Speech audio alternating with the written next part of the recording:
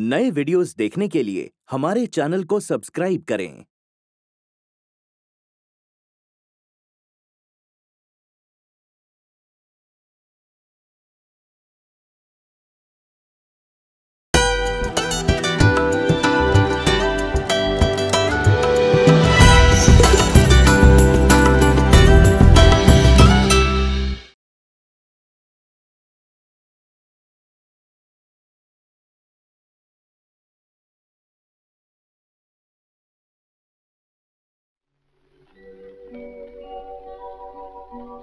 नमामि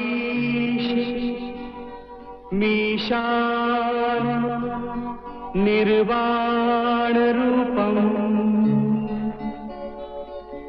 विभुं व्यापकम् ब्रह्मवेदस्वरूपम्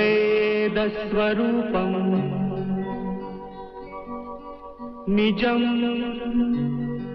निर्गुणम् निर्विकल्पं निरीहम् चिदाकाश माकाश वासं भजेऽहम्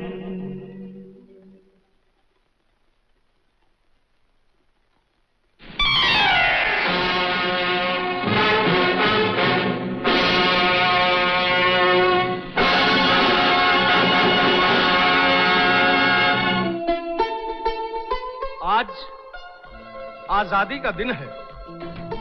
और हर साल हम इस जलसे में किसी न किसी बड़े व्यक्ति को बुलाते हैं। लेकिन इस साल हमने किसी मंत्री या किसी बड़े ऑफिसर को नहीं बुलाया।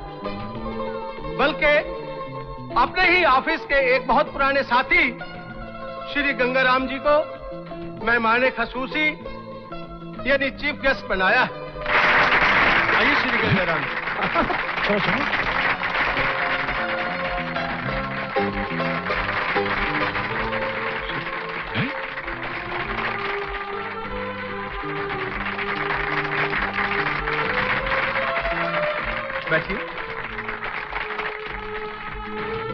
दोस्तों, अगले साल हम जब ये जलसा मना रहे होंगे, तब तक श्री गंगाराम जी रिटायर्ड हो चुके होंगे और हमारे दरमियान नहीं होंगे। लेकिन एक म्युनिसिपल कमिश्नर की हैसियत से मैं इतना ज़रूर कहूँगा कि यह हमारे लिए एक बहुत बड़ा नुकसान होगा। आज की दुनिया में श्री गंगाराम जी का नाम ईमानदारी की एक मिसाल है। मैं इतना ज़रूर कह सकता हूँ कि श्री गंगाराम जी का नाम गंगा की तरह महान है और पवित्र है। एक्सक्यूज मी सर यस मैं प्रेम कुमार जी की तरफ़ से दो शब्द कहना चाहता हाँ हाँ ज़रूर। आइए। कमिश्नर साहब ने बिल्कुल सच कहा। इनकी महानता की सबसे बड़ी मिसाल तो यह है कि इन्होंने अपने इकलौते बेटे को आला तालीम दिलवाने के लिए कभी किसी से एक पैसे की भी मांग नहीं की, बल्कि अपना सारा प्रोविडेंट फंड कर्ज लेकर खत्म कर दिया। गंगाराम जी की महानता की कदर करते हुए प्रेम कुमार जी अपनी तरफ़ से एक लाख रुपए का तोहफा पेश करना चाहते हैं, जो इस हार के साथ महक रहा है। आइए प्रेम कुमार जी।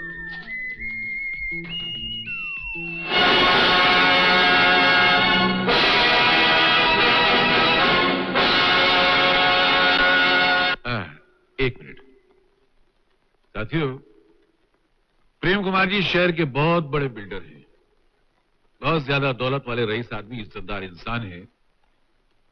मगर म्यूनिसिपल कॉरपोरेशन की इस ऑफ़िस में मैं अकेला क्लार्क ऐसा हूँ, जो इनकी तरक्की की राह में हमेशा रुकावट बना रहा। मैंने इन्हें कभी कोई गैर कानूनी बिल्डिंग बनाने नहीं दी, और अगर इन्हें बनाई तो मैंने तोड़वा के रख दी। इन्होंने मुझे हर तरीके से खरीदने की कोशिश की। मगर मैं नहीं बिका क्योंकि मैं अपनी कीमत जानता हूँ। यह मिट्टी का मामूली सा पुतला लाखों के भाव कैसे बिक सकता है? लेकिन आज आप सबके बीच, मेरे भविष्य के नाम पर, इन्होंने मुझे खुलेआम एक लाख रुपया रिश्वत देने की कोशिश की है, ताकि मैं अपनी नौकरी के आखिरी साल इनकी किसी गैर कानूनी बिल्डिंग को तोड़वाने की कोशिश न करूँ। मगर मैं तोड़वाऊँगा और अपना फ़र्ज़ निभा के रहूँगा। गंगाराम तुमने आज मेरी बहुत बेइज्जती कर दी है। इसे मैं याद रखूँगा।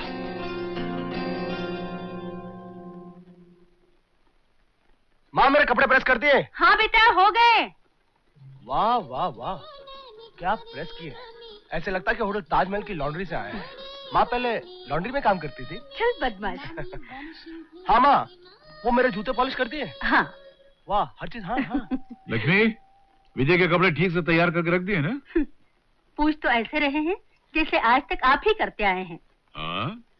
नहीं किए जब तुम बीमार पड़ जाती हो ये मेरे पिताजी महीनों बीमार थे तुम उनकी सेवा में लगी रहती तो विजय कौन संभालता था? अर्धांगिनी जी ज़िंदगी के स्टेज पर बाप के साथ साथ माँ का भी रोल अदा किया मैंने। ओहो आपके पास तो हर सवाल का जवाब मौजूद है। बहुत ज़रूरी है। इस दुनिया में जिस इंसान के पास हर सवाल का जवाब नहीं होता है कभी कभी उसकी अपनी ज़िंदगी सवाल बन जाया करती है। आज पहली बार मेरा बेटा इंटरव्यू देने जा रहा है। आर्किटेक्ट की नौकरी के लिए। आज मेरे बरसों के सपने पूरे हो गए। बरसों से इसी आस पर जी रही हूँ कि एक दिन मेरा बेटा बड़ा हो जाएगा। अपने माँ के आंचल से निकलकर दुनिया के बाज़ार में जाएगा।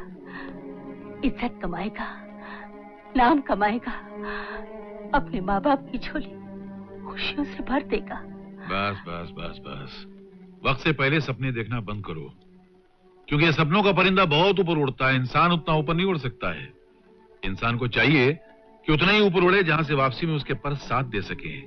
उतरते वक्त टूट न जाए। तुम सिर्फ़ विजय की कामयाबी की प्रार्थना करो और कुछ मत करो। बाबूजी। हाँ बेटा। फ़ाइल तैयार कर दी। हाँ ये तैयार है। लेकिन बेटे तू कौन सी कंपनी में इंटरव्यू देने जा रहा है? एक बिल्डर है बाबूजी। मेरा दोस्त कह रहा था कि उन्हें एक आर्किटेक्ट की ज़रूरत है। हाँ। वो बात करके रखेगा मैं उन्हें जाके मिल लूँ। अच्छा। अच्छा माँ। अच्छा। अच्छा बाबूजी। अरे बेटा आज तू पहली बार इंटरव्यू देने जा रहा है तो जाने से पहले सरस्वती माँ के हाथ तो जोड़ता जा। कहते हैं संसार में ज्ञान की दाता सिर्फ़ सरस्वती माँ है। जा बेटा।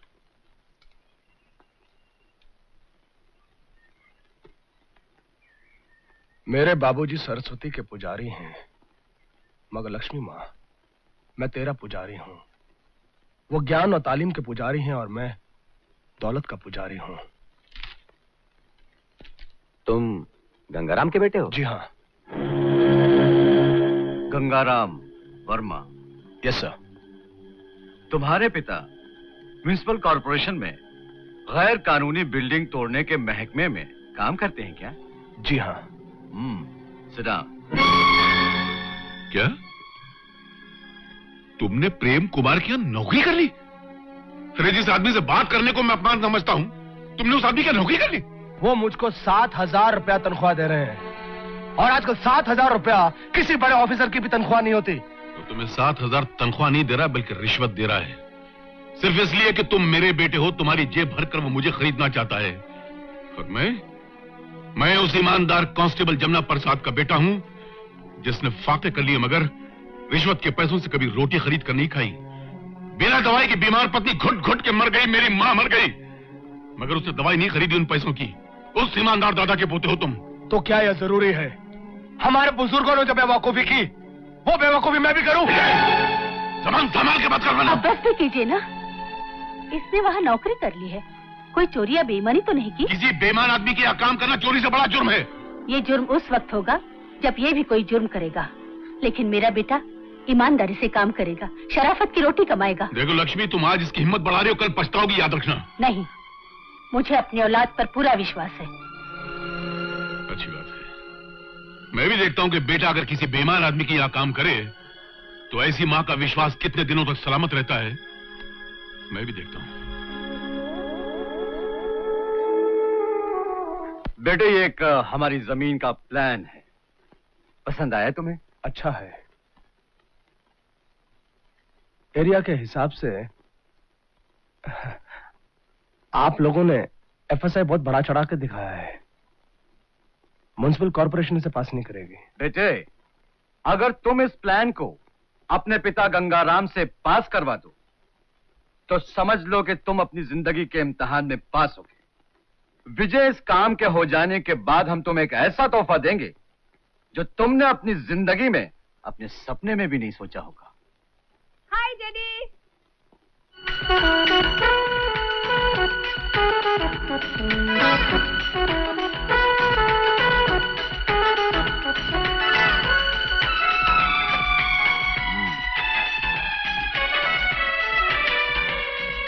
सपना? जी। लीजिए तोहफे का नाम लिया और तोहफा खुद चलकर आ गया। विजय ये मेरी बेटी सपना है। हेलो हेलो सर समझ लीजिए आपका प्लान पास हो गया। ये? तुम ये प्लान पास करवाने के लिए मेरे पास आए हो? ये ज़मीन जिस पर मुश्किल से चार मंजिला इमारत नहीं बन सकती तुम इस पर दस मंजिला इमारत बनाना चाहते हो? और साथ में प्रेम कुमार घटिया सीमेंट कंक्रीट इस्तेमाल करके हज़ारों इंसानों की ज़िंदगी से खेल जाए। पिताजी ये मेरी ज़िंदगी का सवाल है। आपके एक दस्तखत से मेरी ज़िंदगी बन सकती है। विजय तुम्हारी ज़िंदगी बनाने के लिए मैं अपने ईमान को नहीं बिगाड़ूँगा। तुम अपने बाप को अच्छी तरह जानते हो अपना सर कटा देगा अपना खून बहा देगा मगर इस बेईमानी के कागज़ पर स्याही नहीं बहाएगा। तुम्हारी हिम्मत कैसी भी घड़िया अपनाने का मेरे पास मैं यहाँ पर आपका भाषण सुनने नहीं आया हूँ पिताजी। सारी ज़िंदगी गुजर गई आपका खोखला भाषण सुनते सुनते। क्या दिया है आज तक आपकी ईमानदारी और शराफत ने आपको? जब से होश संभाला है माँ के तन पर दो साड़ी के सिवा तीसरी साड़ी नहीं देखी त्योहार आता तो लोगों के घर में घी के दिए जलते, लेकिन इस घर में मट्टी का दिया बड़ी मुश्किल से जलता, पिताजी। सारी ज़िंदगी दाल, सूखी सब्ज़ी और रोटी के अलावा, क्या पका इस घर में? कितनी बार कहा आपसे, इस खंडर जैसे मकान को, इस मनुष्य मकान को बेचकर कोई नया मकान ले लीजिए। मगर जिद, नहीं, बुज़ुर्गों की निशानी को बेचा नहीं जाता। ये जवाब देकर मुँह बंद कर दिया आपने। स्कूल से लेकर कॉलेज तक सारी ज़िंदगी कॉम्प्लेक्स का। एहसास कमतरी का शिकार रहा। लड़कों के अच्छे अच्छे कपड़े देखकर उनकी मोटरसाइकिल उनकी गाड़ियाँ देखकर मन ही मन जलता रहा। और खुद को कोसता रहा कि ऐसे कंगाल गरीब घर में जन्म लेने से तो बेहतर था कि मैं जन्म लेते मर क्यों नहीं गया? लोगों को मुझे बोलने दो। बहुत जब्त किया मैंने आज तक। आज आज जब पैसा कमाने का मौका आया तो आप अपनी ईमानदारी का भाषण सुनाकर अपनी तरह मुझे भी कंगाल बनाने की कोशिश कर रहे हो। मगर नहीं, मैं बनने वाला नहीं। मुझे पैसा चाहिए, दौलत चाहिए। चाहे इसके लिए मुझे ज़मीन और आसमान आपस में क्यों ना मिलाना पड़े, मैं मिलाकर रहूँगा। पिताजी, अगर आज आपने इन कागजात पर दस्तखत नहीं किए तो मैं इस घर को हमेशा हमेशा के लिए छोड़कर चला जाऊँगा। चले क्या जाओगे बेटे? तुम तो पहले ही जा चुके हो। अपने आप को एक दौलत वाले की मंडी में बेचकर आज बहाना बनाकर हम लोगों से रिश्ता तोड़ने आए हो। मैं जानता हूँ बेटा, मैं सब जानता हूँ। लेकिन मेरी एक बात याद रखना बेटे, तुम्हारी उम्र मेरे तजुर्बे से बहुत कम है। तुमने उतनी दिवालियाँ नहीं देखी है जितनी मैंने तुम जैसे बिकने वालों की बर्बादियाँ देखी हैं। एक दिन आएगा, जब तुम छाती पीट पीट के दुनिया को अपनी बर्बादी का किस्सा सुनाना चाहोगे तो वहाँ सुनने वाला कोई नहीं होगा। सिर्फ़ रोने वाले तुम होगे, सुनने वाला कोई नहीं होगा, कोई नहीं होगा। ठीक है।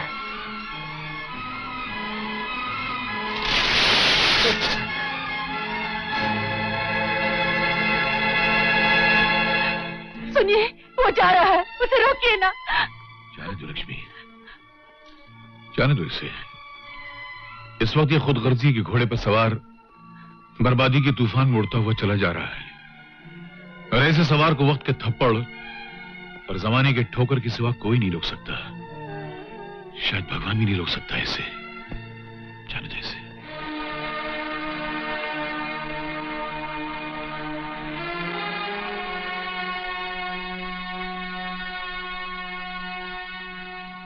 सर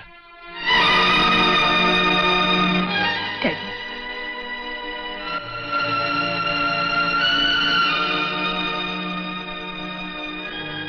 विजय तुम्हारे चेहरे की किताब कह रही है कि तुम नाकामयाब लौटे हो। मगर फ़िक्र मत करो बेटी। कामयाबी और नाकामयाबी तो ज़िंदगी के दो पहलू हैं। तुम नाकामयाब हुए तो क्या हुआ? मैं अपने वादे से नहीं बदलूँगा। मगर मेरी एक शर्त है। शर्त? हाँ। शादी के बाद मेरी बेटी तुम्हारे घर नहीं तुम्हें मेरे घर आके रहना होगा। सर आपका हर हुक्म सर आँखों पर। आप जैसा चाहते हैं वैसे ही होगा। ये तो आपका बड़प्पन है कि आप आप मुझे अपने चरणों में शरण दे रहे हैं। आप महान हैं नहीं सर। नहीं नहीं। मैं आज ही शादी की तैयारियाँ करता हूँ। हैप्पी?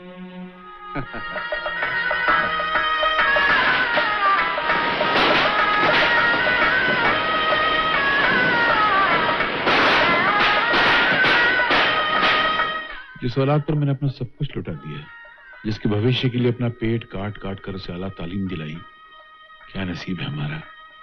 उस औलाद ने हमसे शादी की इजाज़त एक तरफ़, हमें शादी की खबर तक नहीं की। वाह भाई, मान गए प्रेम कुमार को। उसने अपनी बेटी सपना की शादी का वादा तुमसे किया, और शादी करती विजय के साथ? वो भी सिर्फ़ इसलिए कि वो विजय के बाप गंगाराम से अपने रुके हुए काम पूरे करा सके? हमने दिन रात मेहनत करके अपना खून पसीना बहाकर प्रेम कुमार की कंपनी को ज़मीन से आसमान तक पहुँचा दिया। नारंग आज के बाद हम किसी और के लिए नहीं अपने खुद के लिए काम करेंगे। पैसा मेरा होगा और दिमाग तुम्हारा। ओके? अरे मेरा नाम तो जन्नत की नहीं है? छोड़ूँगी नहीं। अरे माटी मिले। अरे मेरे फूल चंद तक आ रहे तेरा शमशान तक पीछे नहीं छोड़ने वाली। अरे पेटी को फेंक के मार। ले गंगाराम गंगाराम। अरे गंगाराम कहाँ घुस गया रे अरे गंगाराम गंगाराम मेरे भाई। गंगाराम अरे मुझे मुझे मुझे गिद्ध होते बचा अरे पर हुआ क्या? अरे। अरे अरे ठहरो ठहरो ठहरो क्या हुआ क्या? क्या हुआ? बाबूजी मैं बताती हूँ। हाँ। इसको दूसरा बेटा हुआ। हम लोग बच्चे का सत्ता देने को बोल रहे हैं। ये मुआ इनकार कर रहा? है फूलचंद फिर बच्चा हुआ? क्या करूँ? शादी मेरी देर में हुई तो बच्चा भी हुआ। अरे शर्म करो यार। उसूलन तो तुम्हारे बेटे के घर में बच्चा होना चाहिए था। तुम्हारे घर में हो रहा है? चलो पैसे दो। पैसे लेकिन पैसे दो। इंदु के के हवाले कर दूँगा अभी। पैसे तुम कहते हो तो थोड़े दे देता हूँ। थोड़े से नहीं पूरे दो। बच्चे से बढ़कर है क्या? चलो। जाओ है बाबूजी तुम भी कुछ दो ना। क्यों? मैं मैं मैं किस खुशी में? कमाल हो गया तुम ना खबर नहीं तुम दादा बन गए हाँ। क्या? विजय बाबू के यहाँ बेटा हो गया। सच? हाँ। मैं दादा बन गया हाँ। लक्ष्मी लक्ष्मी बाहर आओ खुशखबरी है। क्या हुआ? कैसे खुशखबरी? अरे तुम दादी बन गई मैं दादा बन गया। विजय के घर बेटा पैदा हुआ है। कसम माँ जी इतनी अच्छी खुशखबरी सुनाई। ला हमारी बख्शीश। अरे तुम्हारी बख्शीश मैं देता हूँ। ये लो ये लो जाओ खुश रहो। कुलचंद हाँ। आज आज मैं फिर जन्मा हूँ। ये बूढ़ा गंगाराम बच्चा बनकर इस दुनिया में फिर जन्मा है। अरे देखना अब देखना मैं अपने पोते को कितना महान इंसान बनाता हूँ। फराज की तरह मज़बूत जवान का सच्चा चरित्र ऐसा कि जिस मोहल्ले से गुजरेगा तो लोग कहेंगे ये नौजवान है ना उस बूढ़े गंगाराम का पोता है। बूढ़े गंगाराम गरीब गंगाराम का महान पोता। अरे वाह। क्या हुआ गंगाराम? मैं बेवकूफ़ तो?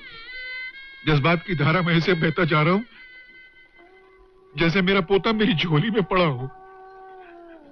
अरे, जिस दादा को उसके पोते के पैदा होने की कोई खबर नहीं देता, उस दादा को पोता पालने के लिए कौन देगा? मुझे मेरे बेटे ने खबर तक नहीं दी कि उसके घर बेटा पैदा हुआ है तो मुझे पालने के लिए कौन देगा?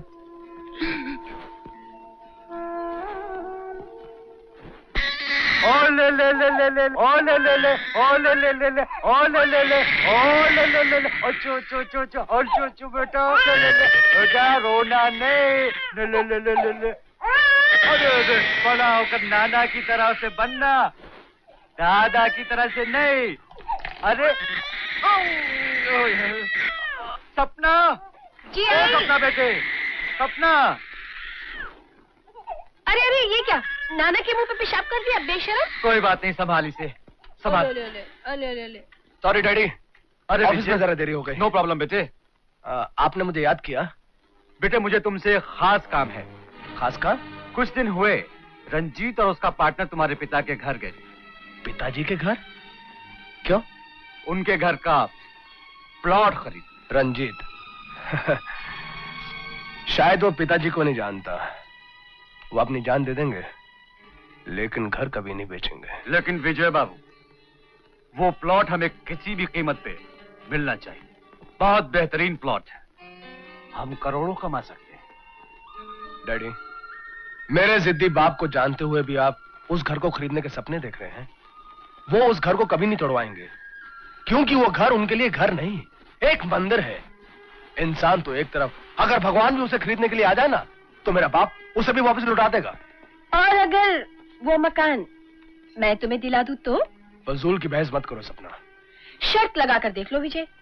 जहाँ मर्द की बुद्धि जाकर खत्म हो जाती है वही औरत की बुद्धि शुरू हो जाती है। क्या मतलब है तुम्हारा? एक बाप को अपनी औलाद असल होती है और औलाद की औलाद सूद होता है। एक व्यापारी के लिए असल से ज़्यादा सूद प्यारा होता है। ठीक है लेकिन इसका प्लॉट से क्या संबंध? है बहुत बड़ा संबंध है। उस प्लॉट पर जो मकान बनेगा उस मकान का नाम होगा विजय सपना हाउस। और उस मकान की सुनहरी चाबी है हमारे पास। हमारा मुन्ना रवि। ये हमें वो प्लॉट दिलाएगा।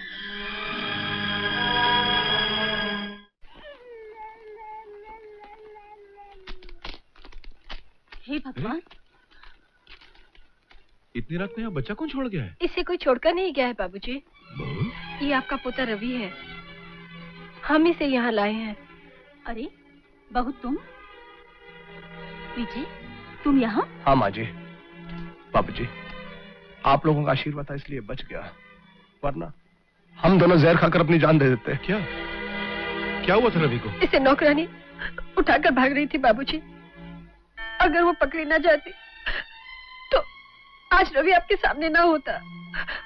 हम सब फुट फुट कर रो रहे होते बाबूजी सब फुट फुट कर रो रहे होते। आजा अपने दादा के पास आजा बेटा आजा। साहब कैसे अपने दादा को पहचान रहा है? हाँ चलो शुक्र है कम से कम पोता तो मुझे पहचान रहा है। वरना आज की दुनिया में बेटा अपने बाप को नहीं पहचानता। है ना बेटा? चलो।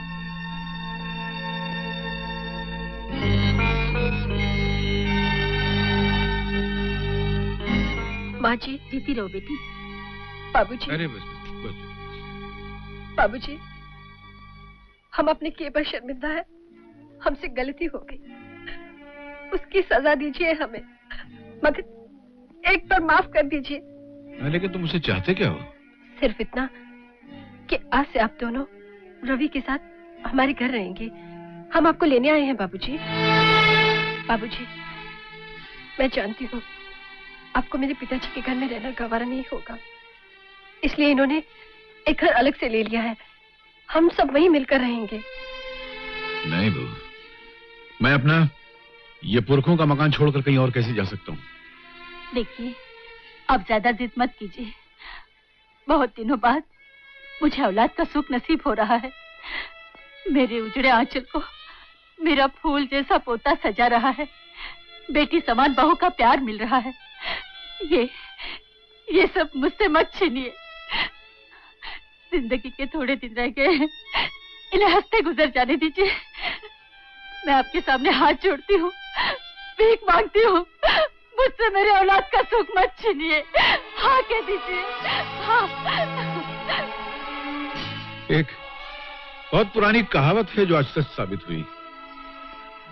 बुज़ुर्गों का कहना है कि माँ बाप भगवान के पैदा किए हुए वो नौकर हैं जो औलाद को मुफ़्त में तोहफे में मिल जाया करते हैं। चलो आज मेरा पोता जीत गया और उसका दादा हार गया। बाबूजी। बस बेटा बस बस।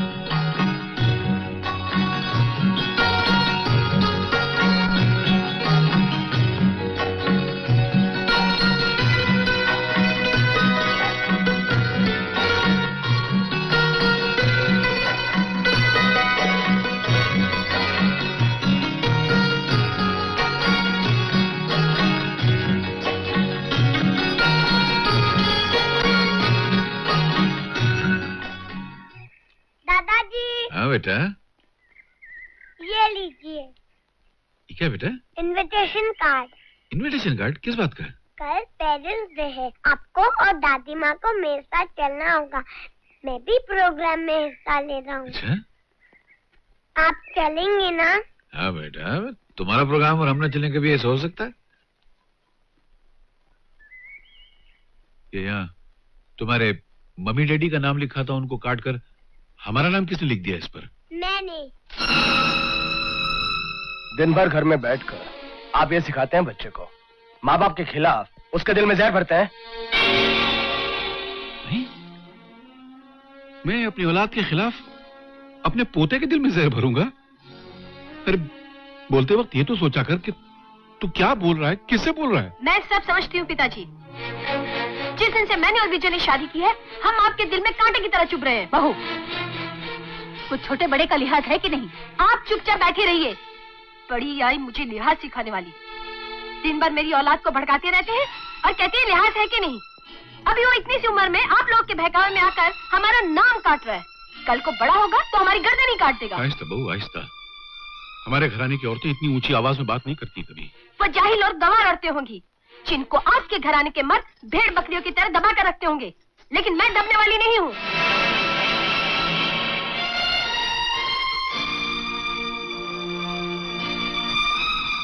देखो बेटा। कभी भूल कर दोबारा ऐसा काम मत करना। वो काट लो हमारा नाम काट कर अपने माँ बाप का नाम लिखो उस पर। इसकी कोई ज़रूरत नहीं। मैं खुद कर लूँगा। चलो बेटा। दादाजी दादाजी।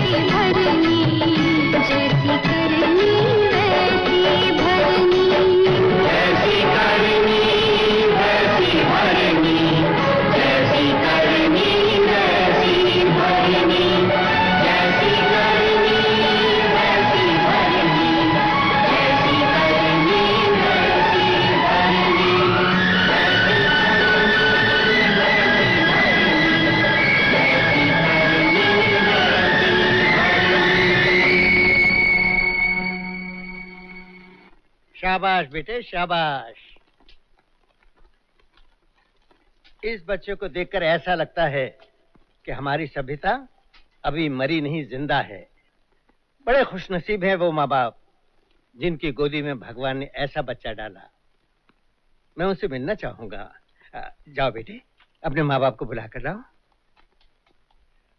अब मैं मेयर साहब से दरखास्त करूँगा कि वो स्टेज पर तशरीफ़ लाएँ। दादाजी।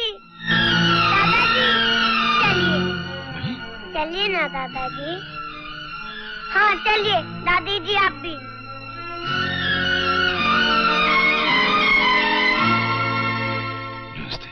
आइए आइए। सर आपने बोला था ना मम्मी पापा को स्टेज पे लाने के लिए मगर मैं उनको लाया हूँ जो मम्मी पापा से भी बढ़कर है। ये है मेरे दादाजी ये है मेरी दादी जी आपने इस बच्चे को बहुत अच्छे संस्कार दिए हैं। मैं चाहूँगा आप दो शब्द यहाँ बोले। प्लीज़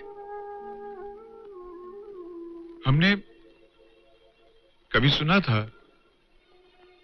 कि संसार में पोता अपने दादा का दूसरा जन्म होता है। शायद सही सुना था। ये ज़िंदगी एक खेत की तरह है जहाँ इंसान किसान की तरह पाप और पुण्य के बीज बोता है और वह बीज उसे फल की शक्ल में, इसी संसार में पोते की तरह नसीब हो जाते हैं। मैंने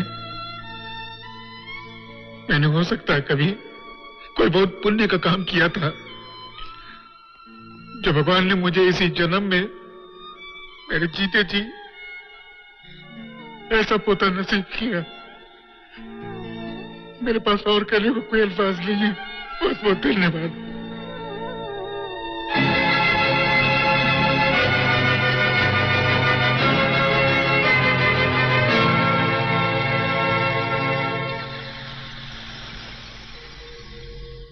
क्या बात है? आज नींद नहीं आ रही क्या? सिर्फ़ आज ही क्या सपना। मुझे तो ऐसा लग रहा है कि जैसे बाबूजी हमारी ज़िंदगी भर की नींद खत्म कर देंगे। अगर रवि हमारे साथ इसी तरह बदतमीजी के साथ पेश आता रहा तो इसमें कोई शक नहीं कि वो बड़ा होकर बीच चौराहे के अंदर हमारी बेजती कर देगा। इसलिए मैंने फैसला किया है कि रवि को इन बुढ़ा बूढ़ी से दूर किसी बोर्डिंग स्कूल में भेज दो। रवि को यहाँ से क्यों भेज रहे हो? अरे जिस काम के लिए तुम अपने माँ बाप को बहला फुसला कर यहाँ लाए वो काम तो हो गया है। अरे उनको यहाँ से निकालो ना जिनके कारण रवि बदतमीज होता जा रहा है। अब इनकी ज़रूरत भी क्या है समझे? तुम ठीक कह रही हो सपना। कूड़े कचरे को ज़्यादा दिन घर में नहीं रखना चाहिए वरना बदबू बढ़ जाती है। इस गंदगी की सफ़ाई मैं कल सुबह ही कर दूँगा।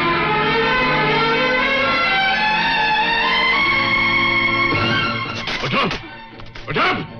तुम इस घर में एक पल रहने के लायक नहीं हो। निकल जाओ बाहर। ये क्या कर रहे हैं आप? निकलो बाहर। ये क्या कर रहे हैं आप? उठो। चलो ये क्या कर रहे हैं आप? सुनिए। निकलो। उठो ये सब बाहर।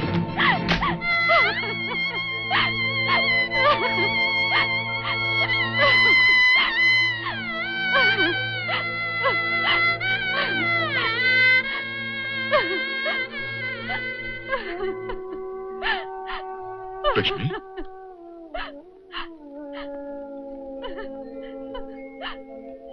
मुझे माफ़ कर दो आज मैंने तुम्हारा बहुत बड़ा अपमान किया लेकिन तुम्हारी कोक तुम्हारा ये अपमान करती इससे बेहतर था कि तुम्हारा सुहाग तुम्हारा अपमान करे हाँ लक्ष्मी मेरे हाथों किया हुआ अपमान तुम सह जाती लेकिन अगर ऐसा ही अपमान तुम्हारी औलाद करती तो तुम्हारे कलेजे के टुकड़े टुकड़े हो जाते इसलिए मैंने मैंने ये सब किया जानबूझ कर किया। चलो लक्ष्मी, इससे पहले कि हमारी औलाद हमको यहाँ से ठोकर मार कर धक्के मार मार के बाहर निकाल दे, हम अपने घर चलते हाँ चलो चलो।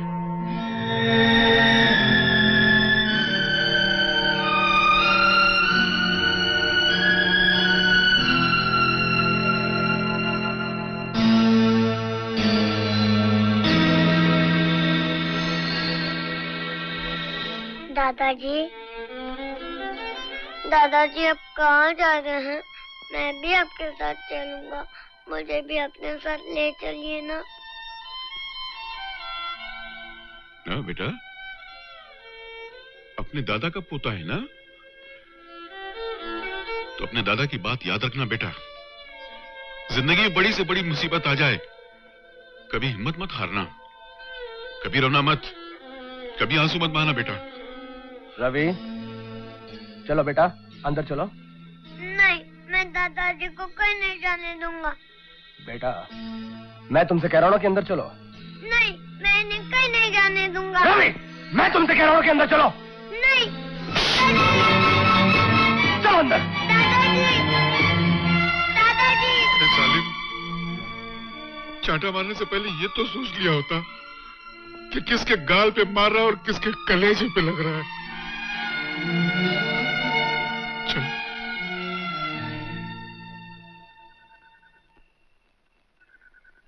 सुनिए। नमस्ते गंगाराम जी। यहाँ तो हमारा घर था ये बिल्डिंग कहाँ से आ गई? अरे आप हैरान क्यों होते हैं? आपके बेटे विजय बाबू ने आपका पुराना मकान तोड़वाकर ये नई बिल्डिंग खड़ी कर दी है। अरे पड़ोसियों अरे मोहल्ले वालों अरे मैं लुट गया अरे मैं बर्बाद हो गया अरे मैं क्या करूँ? अरे भाइयों मेरी किस्मत पे हाथ हाथ हाथ छुड़ो अरे रोते दिन मैं रो दो यार।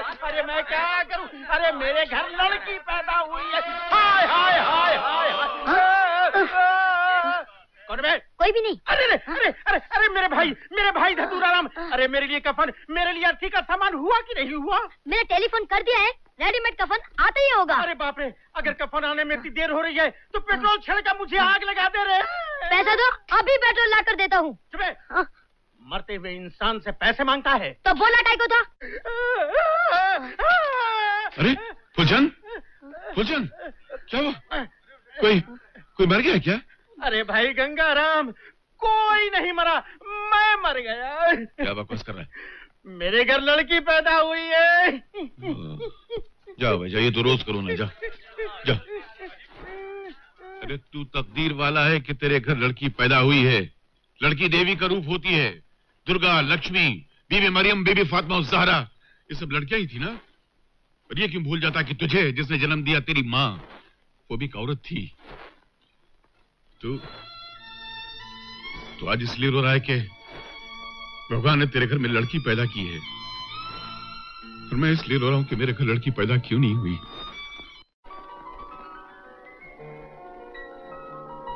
रवि बेटे केक काटो। नहीं मम्मी पापा दादाजी को और दादी माँ को लेने गए पहले वो आ गए फिर मैं केक काटूँगा। पापा आ गए। पापा। पापा दादाजी और दादी माँ नहीं आए। बेटा, तुम्हारे दादाजी और दादी जी तीर्थ यात्रा पर गए हुए थे और रास्ते में उनका एक्सीडेंट हो गया। उसमें बेटा, वो दोनों मारे गए।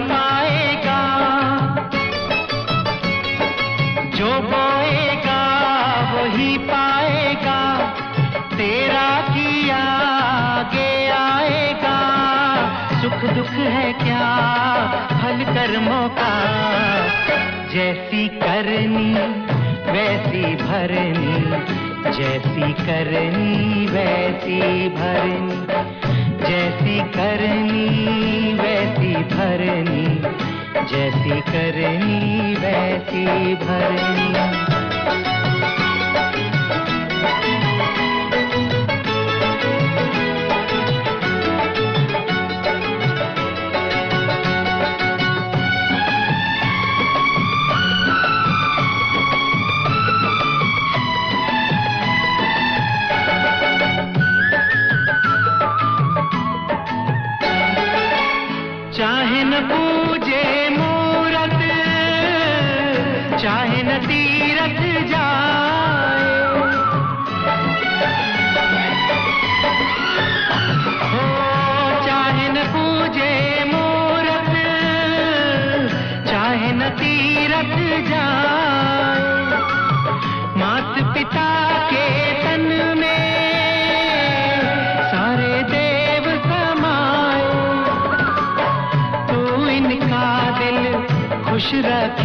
तो ईश्वर खुश हो जाए। भगवान तुझको मिल जाएगा, तेरा किया आगे आएगा। सुख दुख है क्या हल कर्मों का? जैसी करनी वैसी भरनी, जैसी करनी वैसी भरनी। जैसी करनी वैसी भरनी जैसी करनी वैसी भरनी!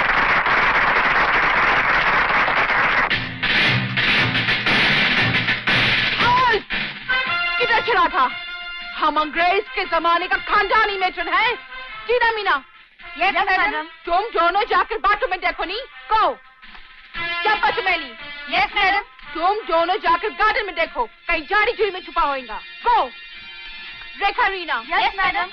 तुम दोनों जाकर टेरेस पे देखो नी? गो। बाकी डीकी लोग मेरे साथ आओ नी? आई?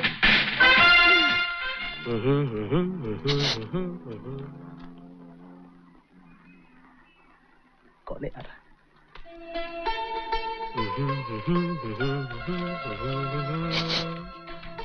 कौन है यार?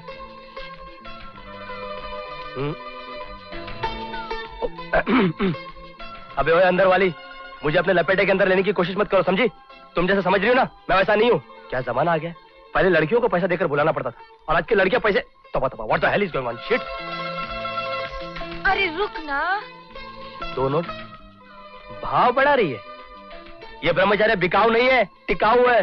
देखिए मैम साहब आप गलत एड्रेस पर पैसे का लेटर पोस्ट कर रही है और साथ में ये उम्मीद रखती है कि मैं आपके साथ what the hell is going on यार कैसी कैसी तड़कती आत्मा भटकती जवानी में मासूम लोगों के पीछे प्लीज़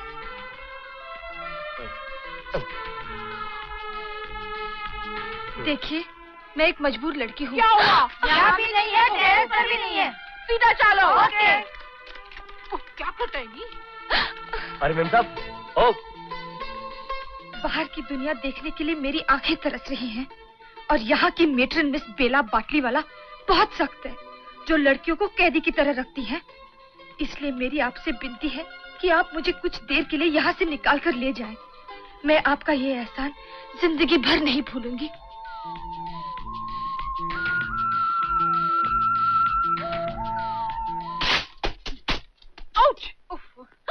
तुम? यस मैडम अरे घदड़ी तुम इधर बैठी है। हम तुमको आखा हॉस्टल में ढूंढता था। ओह क्या करूँ मैडम इम्तिहान करीब आ गया है और हॉस्टल में यही तो एक जगह है जहाँ शांति से पढ़ा जा सके। ओह लेकिन तुम तो हमको घबरा दिया था। हमारा तीन किलो कलेजे का पानी निकाल दिया था। ओह I am sorry madam no no my child I am sorry sit down sit down study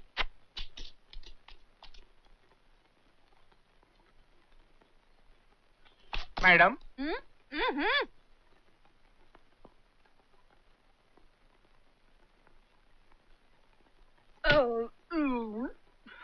सोच है तेरे को मालूम नहीं मेरा मिल्क ब्रेक है? मैडम मिस्टर दारू वाला आपसे मिलना चाहते हैं। काय को? यहाँ उनकी कोई रिश्तेदार रहती है उनका कहना है कि उनकी याददाश्त बहुत कमज़ोर है। उन्हें नाम पता याद नहीं। आज तो मेरा दिनेश मनोज दिखता है। एक तो वो डिग्री मेरे कमरे में घुसकर पढ़ता है और दूसरा आता है उसको उसके रिश्तेदार का नाम ही याद नहीं रहता है। शक्ल देखकर पहचान सकता है। क्या टेंशन है? किधर है वो? कॉरिडोर में। बुलाओ उसको। जी हाँ। फायर ब्रिगेड रॉन्ग नंबर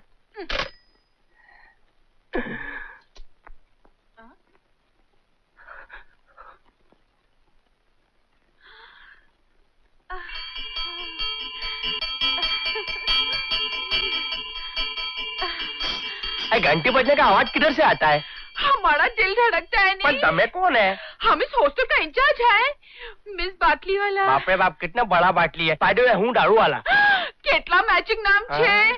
દારૂ વાલા बाटली बाप रे। वाला दारू हमेशा बाटली में रहता है नहीं આ, એ તમે તમારો બોજો તો હટા મારો કાંડો તૂટી જાય આ, आज तो पहला ही मीटिंग है आगे आगे देखो क्या टूटता है नहीं हाँ હું જાઉં છું Oh, no. अरे आज के लिए इतना ज काफी है ज्यादा देर इधर रहूंगा तो इतना टूट जाऊंगा कि रिपेयरिंग के लिए कोई गैरेज पर नहीं मिलेगा हाँ हम है नहीं अरे बाप रे अरे अरे तू कैसा बाइडी है रे तुम्हारा कौन सा रिश्तेदार है इधर है तो मेरा दोस्त का माँ का बहू का बेटी है। इधर ही रहती है अपने बोले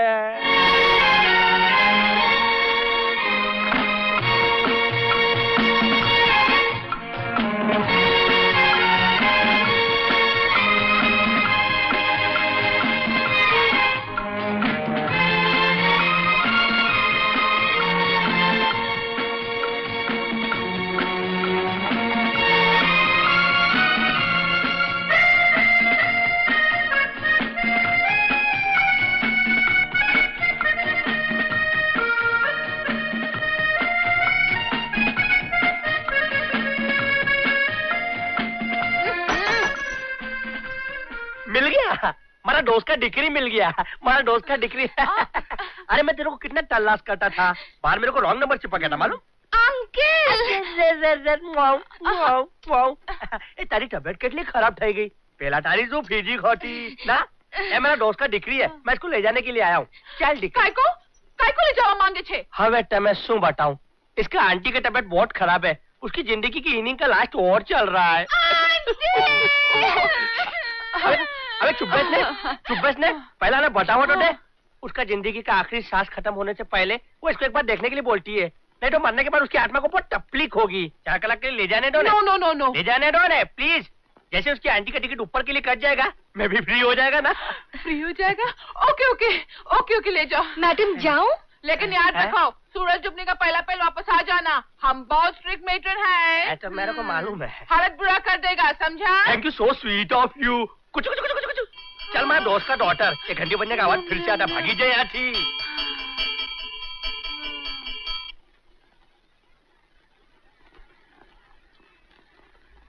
चलिए मैडम कहाँ चलना है? ए मिस्टर। रवि रवि हाँ हाँ रवि। हाँ। मेट्रिन के सामने बड़ा शू फिजी खाती। हम्म। आओ ना दिकरी आओ ना दिकरी। बहुत चांस मार लिया। अब अगर मेरे साथ चलना चाहते हो तो दस फीट दूर रहना होगा समझे? हाँ हाँ तो ठीक है। जैसा आप कहें। दरअसल क्या है कि मैं तो आपसे दूर रहना चाहता हूँ मगर यह कम्बख्त हाथ ये हाथ ये उछल उछल के उछल उछल के तुमसे चिपक जाता है। करो। ठीक है बंद कर देता हूँ। जैसा आप कहें। मगर हेलो हेलो। चलना कहाँ है? जहाँ मैं चलूँगी वहाँ। हाँ हाँ तो ठीक है इसमें कौन सी बड़ी बात है? आप मेरे आगे आगे चलिए। और मैं अपना सब कुछ झुकाए। क्या? अब मेरा मतलब है कि सर झुकाए है। आपके पीछे पीछे चलता हूँ। चलिए। चलो। एक दो तीन चार पाँच छह सात आठ नौ दस। अरे अरे अरे, थमी जाओ थमी जाओ छोकरी थमी जाओ। पहले मेरे जिगर के टुकड़े आनू दिल के बच्चे आनू आने दो। चलो बच्चों चलो चलो। एक दो तीन चार पाँच छह। अरे तमें भी चलो भाग कौन है कौन है? कौन है बे यू स्वाइन अभी दिखाती हूँ। क्या करी? बाम्बू नहीं बाम्बू नहीं बाम्बू नहीं नहीं नहीं नहीं नहीं नहीं ये मारना मत। भाई ये क्या भाई? तुमसे फासला रखने के लिए यही एक तरीका है। अब जहाँ जहाँ मैं चलूँगी तुम मेरे पीछे पीछे चलना समझे? हाँ हाँ हाँ, चलो। चलना।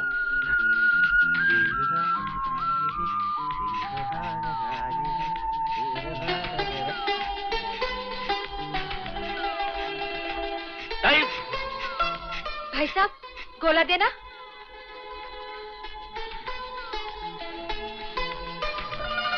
दो घंटे की प्यास बुझ गई।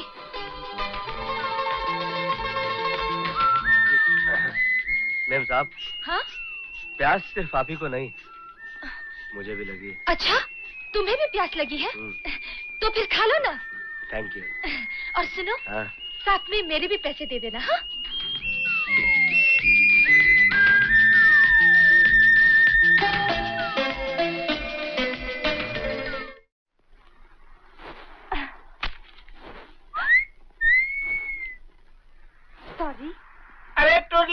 क्या डुरली? तेरी तो निकल पड़ी बापू इशारा कर रही है वो।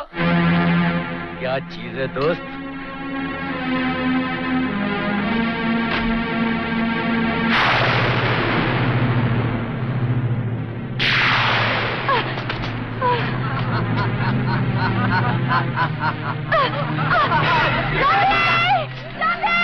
हमें किसने पुकारा?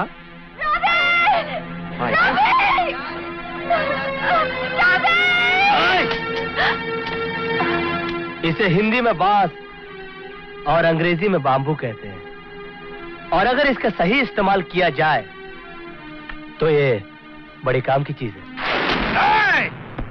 हमसे टकराने वाले का एक ही अंजाम होता है जिसे हिंदी में मौत और अंग्रेज़ी में डेथ कहते हैं। इन हाथों की ताकत को तुम पहचानते नहीं हो लल्लू।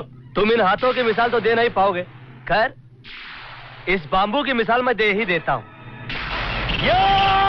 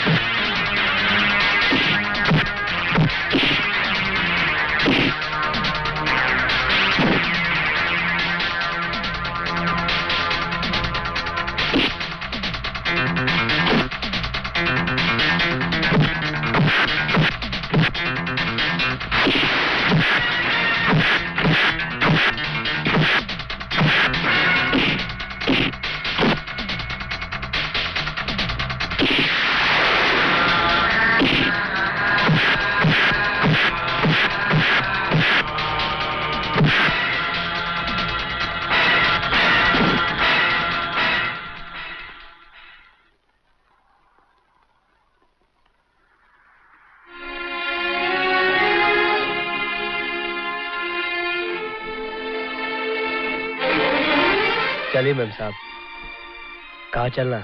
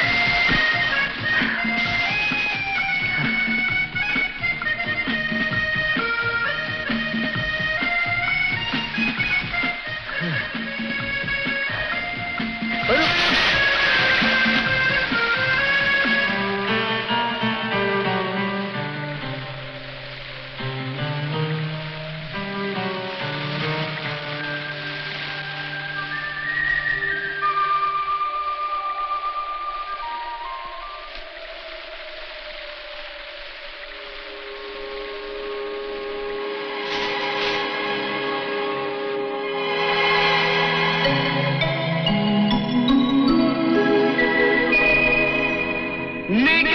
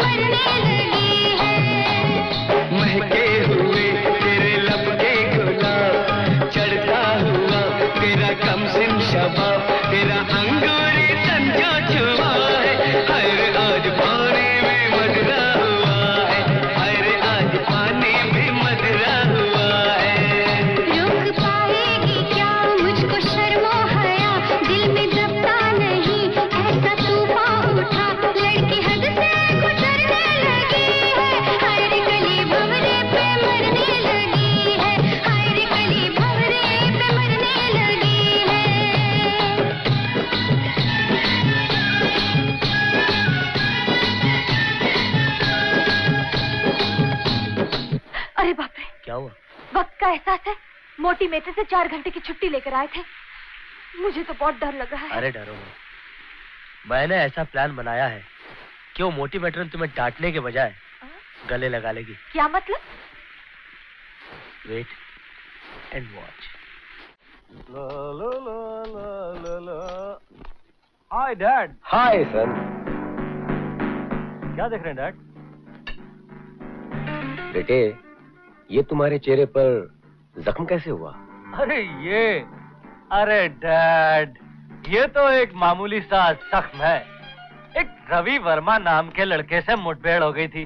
मैंने दिया उसको रख के और सजा दिया उसका मुँह। और उसने मुझे एक मिनट बेटे एक मिनट। ये रवि वर्मा कहीं बिल्डर विजय वर्मा का बेटा तो नहीं? हाँ उसी का। लेकिन डैड आपको उसके बाप का नाम कैसे मालूम? हाँ बेटे हमने तो आज से 20 साल पहले ही उसके बाप के साथ दुश्मनी का खाता खोल दिया था। और आज तुमने उसके बेटे के साथ दुश्मनी का खाता खोल दिया। हाँ डैड। इस खाते की शुरुआत आपने की थी। मगर इस दुश्मनी के खाते को बंद करूँगा मैं, क्योंकि मुझे हिसाब किताब करना बहुत अच्छी तरह से आता है। મારા બાપ મારી ગયો કેટલા વખત થઈ ગયો सात बज गया वो अभी तक राधा को लेकर नहीं आया मेरा दिल कितना जोर जोर से धड़क रहा है मैडम कहीं ऐसा तो नहीं वो पारसी हैंडसम बुढ़ा राधा को लेकर कहीं रफू चक्कर हो गया हो मेरे को कुछ डॉल में काला लगता है आ, ओ, आ, आ, आ,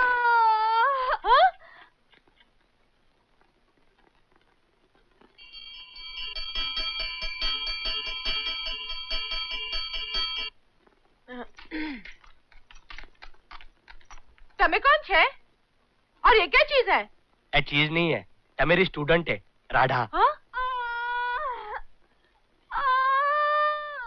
राधा लेकिन ये तो पूरा आधा आधा है और इसको इतना पट्टी क्यों बांधा है इसका कपड़ा फाटी गया क्या नहीं वो बताओ गुंडा बदमाश लोग होता ना उन लोगों ने इसका ऐसा हालत कर दिया गुंडा लोग ने हाँ सबर कर डिग्री सबर कर हम्म लेकिन वो इडियट बुझा किधर है जो इसको लेके गया था? ऐ जरा मोड़ू हमारी ने बात कर तू मेरे बाप को गुंडा बोलती है? तुम्हारा बाप? और नहीं तो क्या ये मेरे बाप का दोस्त का डिग्री है। मेरा बाप मिस्टर दारू वाला मैं उसका बेटा बूथ वाला। मेरा बाप तुम्हारे हुस्न वालों को लेकर रोड पर से जा रहा था तो you know all the road side of loafers उन लोगों ने इन पर अपनी बुरी नीयत की हटर कामला इन पर कर डाला।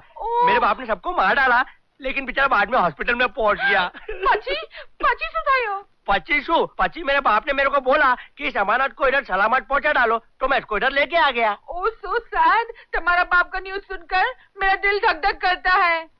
बाय द वे वो गुंडा लोग देखने में कैसा था? तगड़े तगड़े चौड़ी छाटी आटला मोटा मोटा डन एकदम पहलवान के माफ़ी खोटा। लड़की लोग राधा को लेकर कमरे में जाओ। चलो चलो चलो चल दिखला रोना नहीं रोना नहीं रोना नहीं। बाय राडा बाय द वे यस वो गुंडा लोग अभी किधर होएगा? इधर ही तो है। इधर? इधर किधर है? तो मेरे सामने तो है पूछ वाला। अरे तुम! अरे तुम फाइन कॉम्बिनेशन छे। Yes. बाप दारू वाला यस हूँ बाटली वाला अरे तू बूच वाला।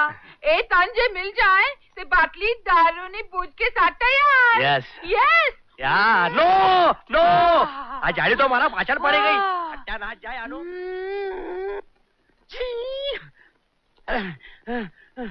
सर्दी जुकाम से परेशान हूँ।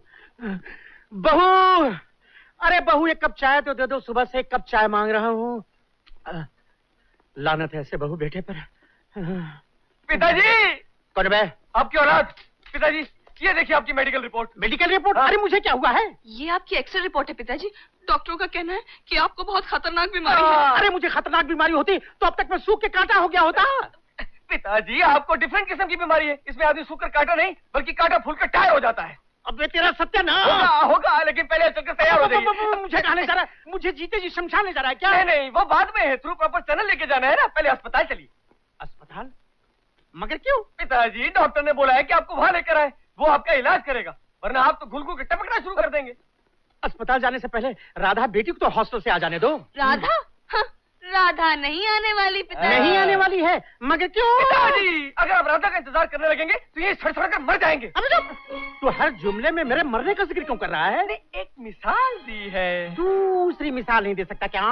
भैया पिताजी को जल्दी स्ट्रेचर पे लेटा जाओ मैं इनके लिए हॉस्पिटल में खटिया बुक कर दिया आया अबे मेरी खटिया क्यों माफ़ कीजिए पिताजी अब उठिए अरे अरे ये सुनकर के तो मेरे हाथ पाँव ठंडे हो रहे हैं आपके तो हाथ पाँव ठंडे हो रहे हैं ऐसी खबर सुनकर लोग मर अबे, तूने तूने भी मेरी मौत का ज़िक्र किया ना, ना, उठाओ ये क्या ये क्या पिताजी हाँ। आपको अस्पताल में चाबियों की क्या ज़रूरत है अरे आपकी जगह मैं संभाल अरे अरे अरे मैं गिरा। अरे अरे अरे अरे अरे बाप रे अरे बाप रे हाँ, चलो ठहरो मुझे अस्पताल ही ले जा रहे हो ना हाँ। मेरे भाई डॉक्टर धतूरा राम को ज़रूर खबर कर हाँ, देंगे, कर देंगे कर देंगे। चलो।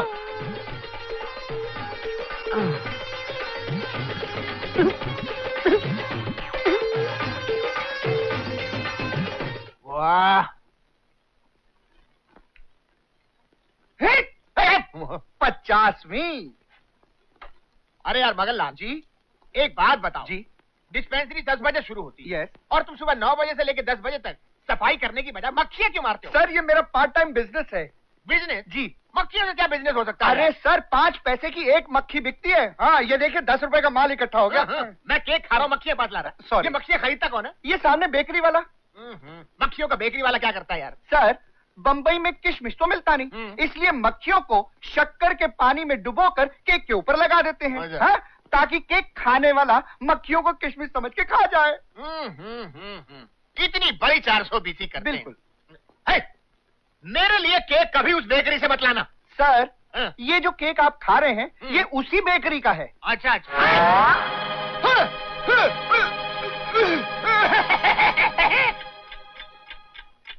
सत्यमेव जयते डॉक्टर साहब। आइए आइए आइए। अरे कितनी बार है? क्या बात है? मेरा नाम झोंकुमल मखमल प्यारेलाल है। अच्छा अच्छा ये आपका अकेले का नाम है कि पूरे खानदान का? है? मेरे अकेले का नाम है। हाँ। मैंने तुम्हारा बड़ा नाम सुना है इस शहर में कि तुम बे इलाज का ऐसा इलाज करते हो कि वो ला इलाज हो जाता है। इसलिए मैंने सोचा कि तुम मेरा इलाज कर दो।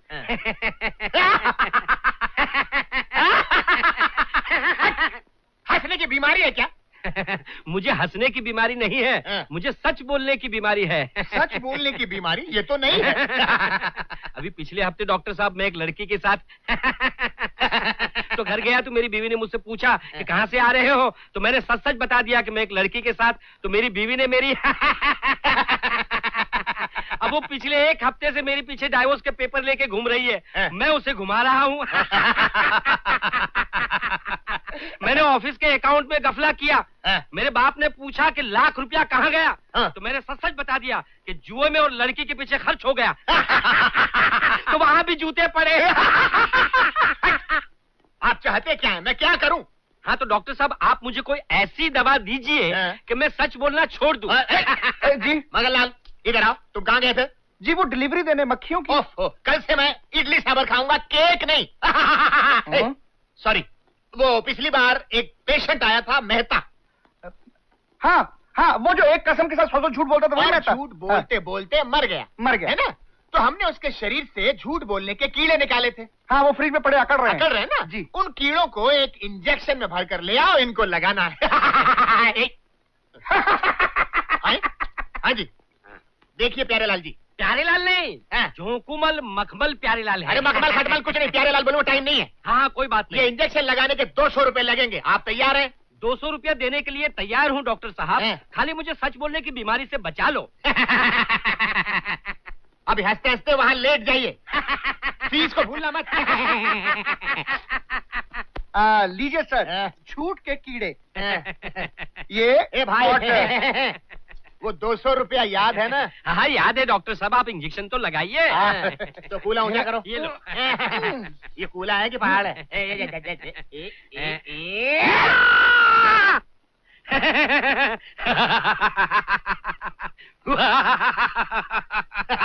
पूरी पी गया पूरी पी गया।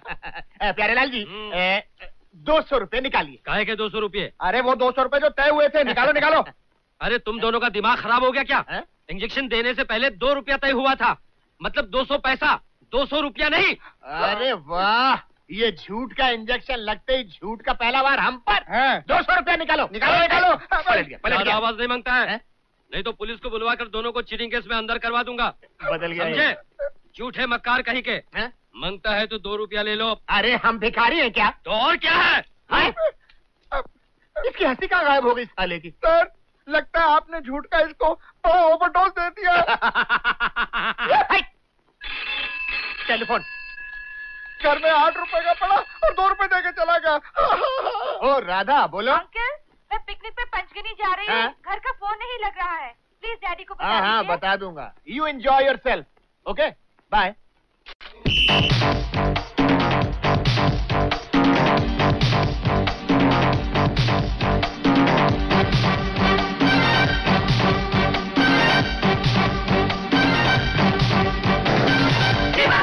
Bye-bye.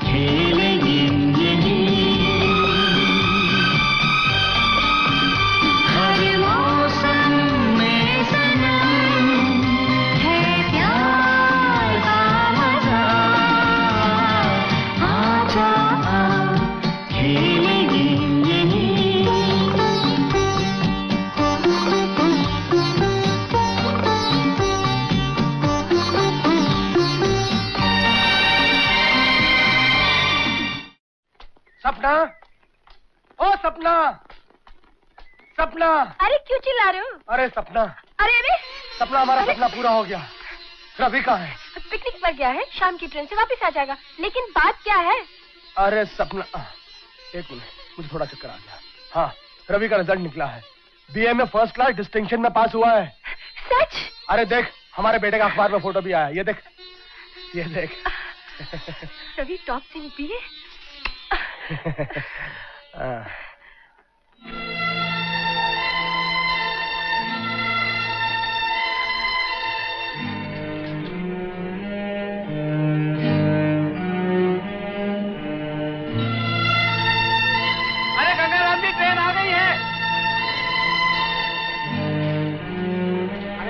जल्दी से बिस्किट देना पीला बैग इकबाल एक पीला वाला बैग रह गया अंदर बाबू सामान उठाओ अरे अच्छा हुआ कुली तुम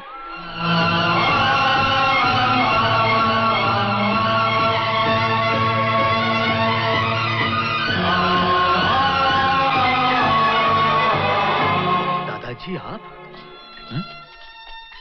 कौन कौन दादाजी आपका नाम श्री गंगाराम जी है ना नहीं नहीं बेटा मेरा नाम मेरा नाम रामलाल है रामलाल। नहीं नहीं। आप झूठ बोल रहे हैं।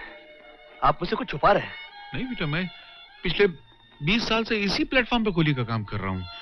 शायद तुम्हें धोखा हुआ है। कभी कभी आँखें जो देखती हैं मन जो सोचता है ना वो होता नहीं है। लेकिन ये मैं सामान उठाऊं? सामान उठाऊं? जी नहीं। हम लोग बहुत सारे लड़के हैं, अपना सामान खुद उठा लेंगे। हाँ।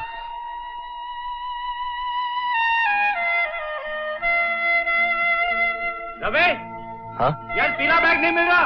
अब्दुल सामान उतार। लक्ष्मी अरे कहाँ हो तुम? ऐसी खबर लाओ कि सुनकर पागल हो जाओगी। क्या बात है?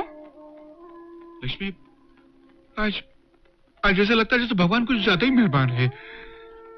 दिल की उजड़ी हुई जहीन पर उसने आज खुशियों की वर्षा कर दी। ऐसी कौन सी खुशखबरी है? आज आज अपना अपना रवि मिला था। क्या? रवि? हमारा रवि?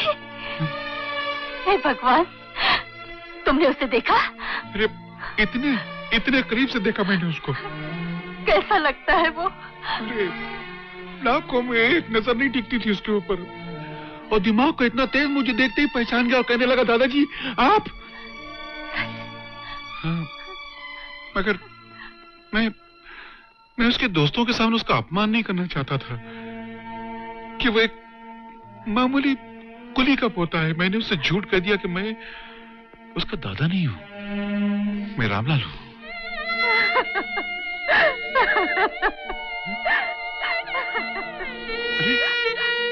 लक्ष्मी अरे पगली रोती क्यों है? आज तो बहुत खुशी का दिन है। आज तेरा पोता पूरी यूनिवर्सिटी में फ़र्स्ट आया है। ये देख ये देख ये उसकी तस्वीर छपी है देख। रवि हमारा रवि।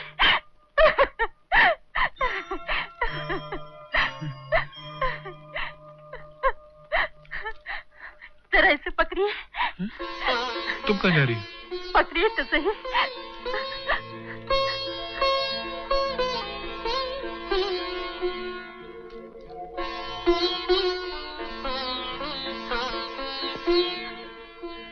ये क्या है?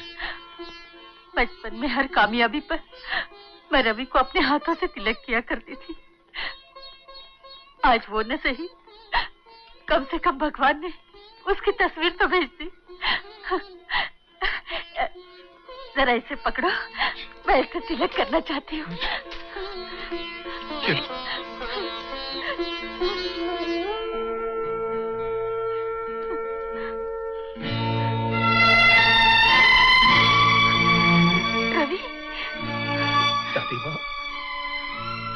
दादाजी।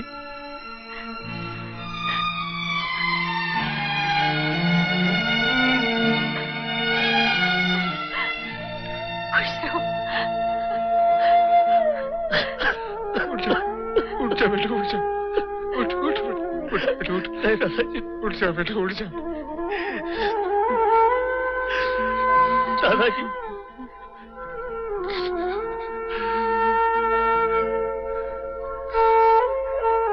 माँ बाप ने मुझसे इतना बड़ा झूठ बोला कि मेरे दादा दादी मर गए। और आप लोग आप लोग इस हालत में वो लोग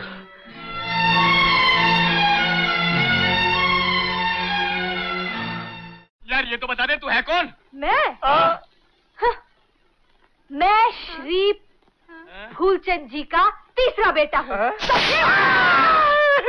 तीसरा बेटा? छोटे। मैं यहाँ हूँ। छोटे। अबे पिताजी ने दो शादियाँ की थी क्या? लगता है पिताजी जवानी में बड़े चालू टाइप के आदमी रहे होंगे। देख तो नमूना कैसे मार रहे भैया कमीनो अपने पिताजी को मैं तुम्हें मार मार कर बंदा बना दूँगा।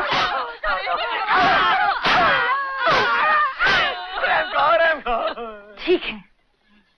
मैं जो कुछ भी पूछूँगा उसका सच सच जवाब पिताजी को क्या क्या खिलाते पिलाते रहे? जो उनकी तबीयत खराब हो गई।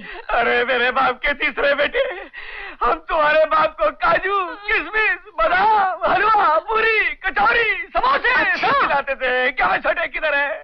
सेब मौसम्बी नारंगी पपीता ऊपर से केला खिलाते थे अलग से। तुम लोग सब झूठ बोलते हो। अंकल! यस सच बोलने का इंजेक्शन तैयार है बेटा। हाथी की पूछ से निकाला है।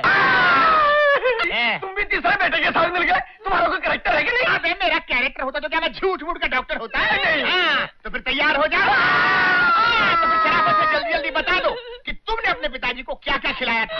बोलो कि नहीं तो जी मैं बताती हूँ मैं बताती हूँ। बोलो। ये दोनों हाँ, पिताजी को सूखी रोटी खिलाते थे। कभी ये सूख गए सूखी रोटी की तरह। हाँ आज अगर पिताजी बीमार है तो इन दोनों के कारण पिताजी? हाँ? ये लीजिए हंटर लगाइए इनको। हाँ, सूखे वो भाई साहब। इनको नाश्ते में दो हंटर इनको लंच में चार हंटर और डिनर में आठ हंटर मारिएगा। और जिस दिन हंटर मारिएगा उस दिन पानी मत दीजिए।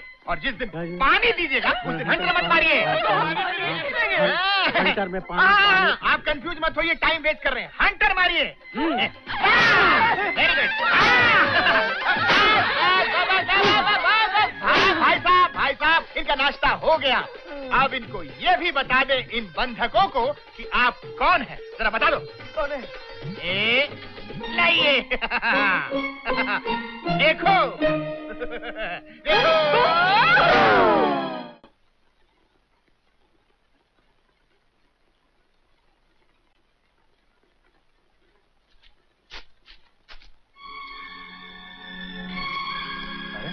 ये क्या कर रहा रवि? बाबूजी, बाज़ार से खरीद के लाए हुए फूलों से यादों की महक नहीं आती। और फिर ऐसे महान लोगों की तस्वीरों पर तो वो हार चढ़ाए जाते हैं। जिन पर भावनाएँ फूलों की तरह लटकती हो जिसमें श्रद्धा प्यार मोहब्बत की महक आ रही हो।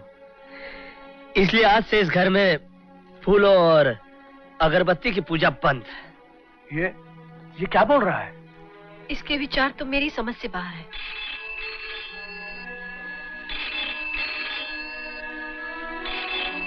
रवि जब तुझे पता चल गया कि तेरे दादा दादी ज़िंदा हैं तो तू उन्हें उस झोपड़े से निकालकर किसी अच्छी जगह पे क्यों नहीं लिया था? इकबाल तू सोचता मैंने कोशिश नहीं की होगी मगर मेरे दादाजी इतने खुददार इंसान हैं कि वो इस उम्र में भी किसी पे बोझ बनना नहीं चाहते। तो तू एक काम कर तू अपने माँ बाप को बता दे कि तेरे दादा दादी मरे नहीं ज़िंदा हैं और तेरी उनसे मुलाकात भी हो चुकी है। तुम्हारा मतलब है कि मैं उन्हें बता दूँ कि जो झूठ उन्होंने मेरे बचपन में मुझसे कहा था उसका मुझे पता चल गया है कि मेरे दादा दादी मरे नहीं ज़िंदा है। यह करने से उन्हें शर्मिंदगी तो महसूस होगी। मगर मेरा मकसद पूरा नहीं होगा। तो फिर? जिस तरह ये राज उन्होंने बरसों तक मुझसे छुपाए रखा मैं भी उन्हें ये राज इतनी आसानी से नहीं बताऊँगा। अरे आप ज़िंदा हो। हाँ भाई। ये ये मिठाई किस लिए? इस उम्र में फिर बेटा हुआ है क्या? ओहो लानत भेजो बेटों पर। मेरा बस चले ना तो मैं उन्हें जादू टोनों से गायब करवा दूँ। तो फिर ये मिठाई किस खुशी में? तुम्हारे एहसानों की खुशी में। मेरा एहसान? हाँ। तुम्हारा एहसान। तुम्हें याद है जब मेरी बेटी पैदा हुई थी मैं कितना रोया था कितना तड़पा था और तुमने कहा था कि बेटी देवी होती है तकदीर वालों के घर पैदा होती है। मेरे भाई मेरे भाई मैं बहुत खुश नसीब हूँ कि राधा मेरे घर पैदा हुई। मैं उस पर सैकड़ों बेटों को कुर्बान कर सकता हूँ। बस। फिर भटकने लग गए। पहले लड़की जात से नफरत करते थे, बेटों से चोट खाई तो बेटों से नफरत करने लग गए। नहीं फूलचंद ये तो सब तकदीर का खेल है। एक बात जानते हो? इस दुनिया में इंसान का सबसे बड़ा दोस्त कौन है? दुख हाँ? इस दुख को इंसान से इतनी मोहब्बत होती है कि हर घड़ी इंसान के सीने से चिमटा हुआ रहना चाहता है। ये वही दुख है जो कभी रोटी का दुख बनकर आता है, कभी नौकरी का दुख बनकर आता है, कभी बीवी का दुख बनकर आता है तो कभी औलाद का दुख बनकर आता है। एक अकेला दुख है जो चेहरे बदल बदल कर इंसान के सीने से चिमटा हुआ रहना चाहता है। मगर इंसान इतना बेवकूफ़ है कि उस वफादार दोस्त को ठुकरा कर बेवफा सुख की तलाश में भटकता रहता है। अरे, सुख तो बेवफा तवाइफ की तरह है जहाँ जिसके पास, कल उसके पास। अगर इंसान दुख से दोस्ती कर ले तो फिर ज़िंदगी में कभी उसको सुख की तमन्ना ही नहीं रहेगी। तमन्ना ही नहीं बहुत खूब बहुत खूब गंगाराम। तुमने ज़िंदगी के सारे अंधेरे दूर कर दिए। Hi dad. हाय। आप ऑफ़िस ही जा रहे हैं ना? नहीं बेटे आज खंडाला में ज़मीन का ऑक्शन है। ओ।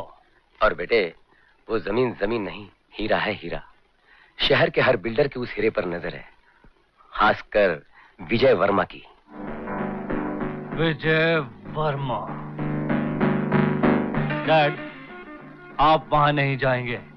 वहाँ आपका बेटा जाएगा। आपके दुश्मन विजय वर्मा के मैं दर्शन भी कर लूँगा और ज़मीन लाकर आपके कदमों में डाल दूँगा। इससे आपकी जीत भी होगी और आपका दुश्मन शर्म के मारे डूब के मर जाएगा। अब बारी है प्लॉट नंबर 12 की, जिस पर आप सबकी नज़र लगी है। सरकार ने इसकी कीमत एक करोड़ रुपया रखी है। अब आप इससे बढ़कर बोली लगाइए। एक करोड़ बीस लाख। एक करोड़ चालीस लाख। एक करोड़ पचास लाख। दो करोड़। दो करोड़ दो करोड़ एक दो करोड़ दो दो। ढाई करोड़। बहुत खूब विजय साहब। आज के दौर में ऐसी ज़मीन के असली कदरदान विजय साहब ही हैं। ये ये विजय वर्मा? तो इनकी बोली ढाई करोड़ रुपए। ढाई करोड़ एक ढाई करोड़ दो चार करोड़। लू तुम ये क्या कर रहे हो? पागल हो गए हो क्या? चार करोड़ एक चार करोड़ दो चार करोड़ तीन।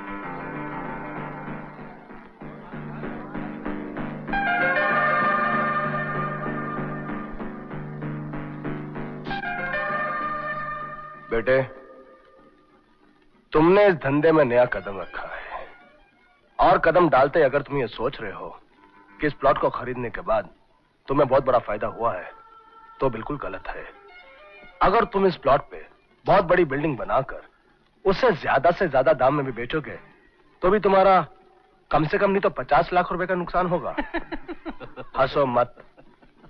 आज से तुम्हारे रोने के दिन शुरू हो गए हैं। आज पहला दिन है। प्रैक्टिस कर लो। विजय वर्मा ये तो वक्त ही बताएगा कि कौन हंसता है और कौन रोता है। तुझे तो मैं बहुत रुलाऊँगा विजय वर्मा। हेलो हाँ मैं आपका सेक्रेटरी एसडी सुमन दोषी बोल रहा हूँ। आप विजय बोल रहे हैं ना? मिस्टर विजय बोलो बदतमीज।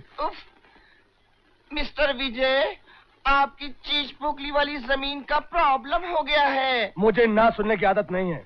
ज़मीन चाहिए तो चाहिए। एम क्लियर यस सर बाबूजी एक सवाल पूछूँ? इंसान को उसकी जरूरतों के लिए कितनी ज़मीन की ज़रूरत होती है? भगवान को जितनी ज़मीन बनानी थी बना चुके हैं। और अब जितनी ज़्यादा से ज़्यादा ज़मीन मुझे मिल सके उतने। समझ गए? अब आप ज़बरदस्ती समझाएँगे तो समझना ही पड़ेगा। बाकी समझदारी की बात यह है कि आपने जो समझाया मेरी समझ में कुछ नहीं आया। क्योंकि आपकी जो समझ है ना मेरी समझ की समझ से बाहर है। अरे ये क्या? एक मिनट। मिस्टर विजय अरे बाबूजी ये तो आपके नाम पे आया। मेरे नाम पे किसने भेजी है? The secretary of all India orphan parents society यानी कि अखिल भारतीय अनाथ माता पिता संस्था। पता है यतीम मंजिल अनाथ गली लावारिस पूरा डिस्ट्रिक्ट यतीम पूरा कमाल है। ये जगह का नाम मैंने पहले कभी नहीं सुना। हम्म, लगता किसी ने मज़ाक किया है। रवि जरा इसे खोलो तो हाँ वही देख रहा हूँ।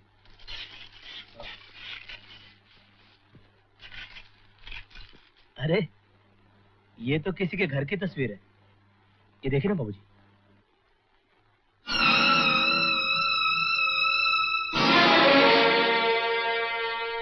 गंगा लक्ष्मी निवास। नाम सुना हुआ लगता है। मम्मी मेरे दादाजी का नाम क्या था? मैं बताता हूँ। तेरे दादाजी का नाम था गंगाराम। नहीं बाबूजी मेरे दादाजी का नाम गंगाराम नहीं था। बदतमीज तू मेरे बाप का नाम मुझसे ज़्यादा जानता है? नाराज़ मत होइए बाबूजी। मेरे दादाजी का नाम था श्री गंगाराम।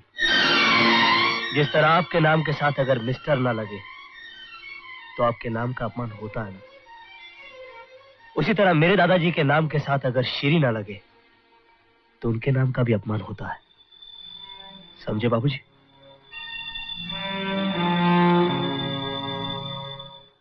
जय हो महाराज जय हो महाराज जय हो विजय बाबू जय हो जय हो जय हो। आइए आइए पंडित जी आपको देखकर याद आता है हाँ। कि बाबूजी का श्राद्ध है। आज से नहीं कल से शुरू हो गया है। मगर धन्य हैं आप। धन से और अपने मन और शांति से हर साल आप अपने स्वर्गीय माता पिता का श्राद्ध मनाते हैं। इस साल भी मनाएँगे ना? क्यों नहीं पंडित जी हाँ। जिन माता पिता ने हमें जन्म दिया उनके लिए श्राद्ध की रस्म पूरा करना हमारा कर्तव्य है। इस साल भी ज़रूर मनाएँगे। सपना इन्हें दो हज़ार रूपए दे दो। अरे विजय बाबू इस साल का बजट नहीं देखा आपने? हर चीज़ की महँगाई बढ़ गई है। बिल्कुल सही कहा आपने। वाकई आजकल के युग में हर चीज़ के दाम बढ़ गए। मगर आदमी की नज़र में इंसानियत के दाम घट गए। क्यों बाबूजी? हाँ? हाँ। सपना पंडित जी को ढाई हज़ार रुपए दे दो। मैं तो पंडित जी को तीन हज़ार रुपए दूँगी। सास ससुर का श्राद्ध साल में एक ही बार तो आता है। माँ ये दो तीन बार नहीं आ सकता क्या? चल चुप। तू तो पागल है। अपनी सभ्यता और संस्कृति के बारे में कुछ नहीं जानता। अरे ये त्योहार तो साल में सिर्फ़ एक ही बार आता है। अच्छा तो ये श्राद्ध एक त्योहार होता है। हाँ। वाह। फिर तो आपकी बार ये त्योहार हम बड़ी ही धूमधाम से मनाएँगे।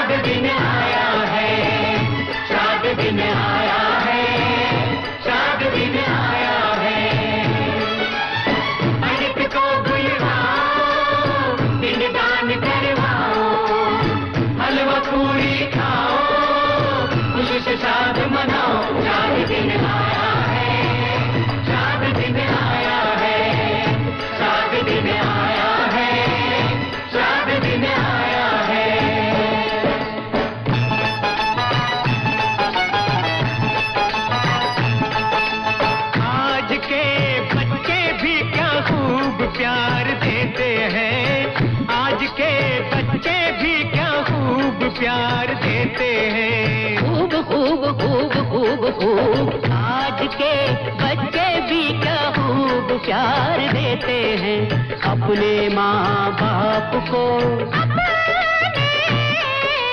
अपने माँ बाप को। अपने माँ बाप को। अपने माँ बाप को जीते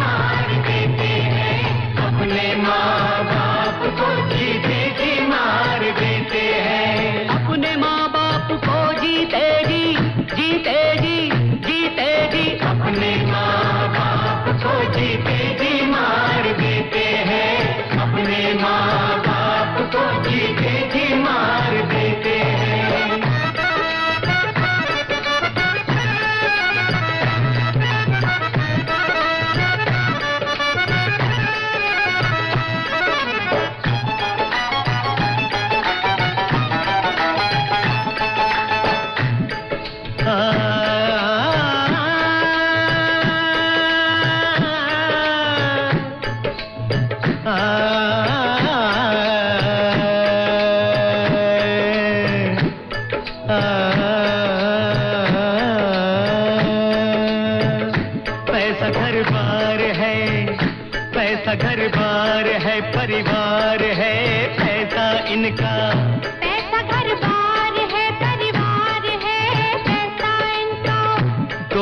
महबूब रिश्तेदार है पैसा इनका।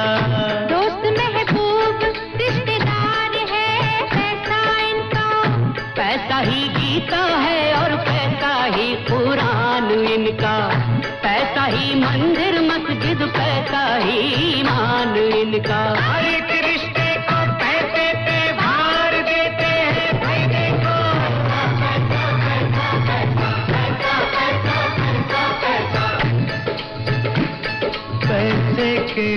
वास्ते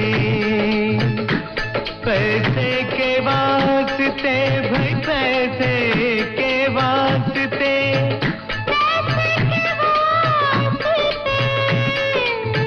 पैसे के वास्ते पैसे के वास्ते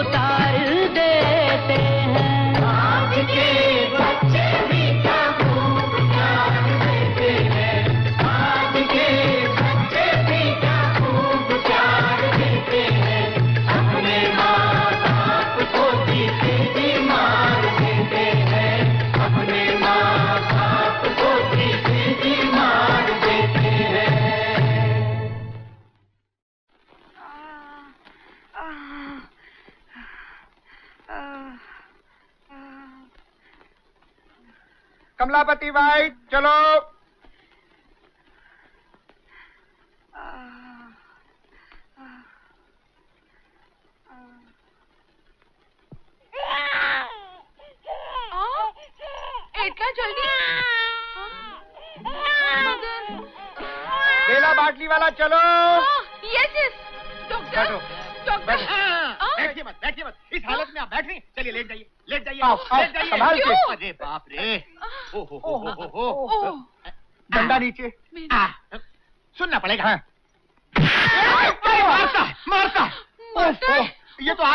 रहना चल रहा और आप ऐसे मटक के आ रही हैं जैसे को आ रही है। क्यों बात करे जी डॉक्टर। हम्म, हम्म। ना में पेट से है और ना में औरत है, हाँ?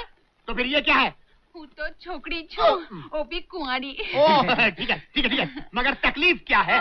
तकलीफ़? तकलीफ़ तो ये है कि कोई मेरे को तकलीफ़ ही नहीं देता है। अरे ये क्या तकलीफ़ हुई? ओ डॉक्टर मारा ज़िंदगी में ट्रेजिडी ट्रेजिडी छे। बेचारी। हाँ। बेचारी नहीं बीमारी। बीमारी क्या बीमारी क्या? बीमारी? जब भी मैं किसी आदमी को देखता है तो मारा नहीं गंदी वागवा लागे छे। ज़ोर ज़ोर ती क्या बचती है? गंदी घंटी घंटी समझ गया। क्या करूँ डॉक्टर? हम्म। नाड़ी छुआ हाँ। ओ, अच्छा ये नाड़ी ना ये नाड़ी नहीं नहीं नहीं नहीं ये नाड़ी। हाँ, नाड़ी नाड़ी चोकड़ी हूँ ना। चोकड़ी। एक दिन मारा ज़िंदगी में एक बूढ़ा आया था। उसको देखकर भी मारी दिल निगंडी वागवा लगी थी। बुढ़े को देखकर भी दिल की घंटी वागवा लगी? आ, मुझे देख के तुम्हारे दिल की घंटी वागवा नहीं लगी? डॉक्टर और पेशेंट के बीच में बोला तो तुम्हारी भी वागवा वागवा कर दूँगा। यस प्लीज़ फिर डॉक्टर मारा ज़िंदगी में एक जवान आदमी आया था। फिर फिर फिर? उसको देख के भी मारी दिल निगंधी वागवा लगी थी। फाइन वेरी गुड हाँ। लेकिन वो दोनों मर्द को मेरे पर बिल्कुल दया नहीं आया। वो दोनों मेरे को छोड़ के चला गया। क्या करके? छोड़ के छोड़ के। छोड़ के छोड़ के। तुम एक काम करो डॉक्टर। क्या काम क्या काम? तुम मेरा नसबंदी कर दो। माय गॉड नसबंदी हाँ। मेजर ऑपरेशन डेफिनेटली तुम मेरा दिल का घंटी काट देगा। तो मेरा सारा अरमान कट जाएगा। फिर किसी भी आदमी को देखकर मारा दिल निगंटी ना वागे नहीं नहीं नहीं नहीं। तुम कैसी निराशावादी बातें करती हो? अभी तुम जवान हो खूबसूरत हो नाजुक हो स्वीट सिक्सटीन हो। इतनी जल्दी घंटी मत कटवाओ। सुनो एक काम करो। मैं तुमको एक दवा देता हूँ। जिस मर्द को भी खिलाओगी उसकी घंटी अपने आप वागवा लगेगी तुम्हारा काम आसान हो जाएगा। Really? अरे रियली क्या? मैंने कितनों की घंटी वागवाई है? you see my mixture hold on hold on मुझे देख के अब घंटी बजी नहीं रंग लग गया है तुम देखकर हम्म, ये- ये- अरे इसको भी देखकर મારી દિલ્હી કંઠી વાગવા લાગે છે ડોક્ટર भी हैंडसम છે दवाई तो ये बना रहा है हाँ क्यों ना मैं ये दवाई इसी को पिला दूँ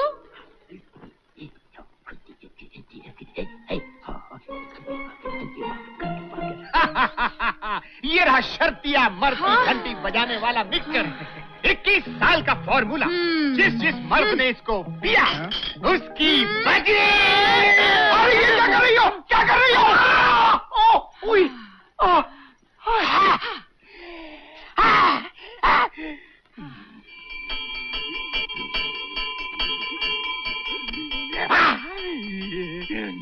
पेला डॉक्टर दत्तू।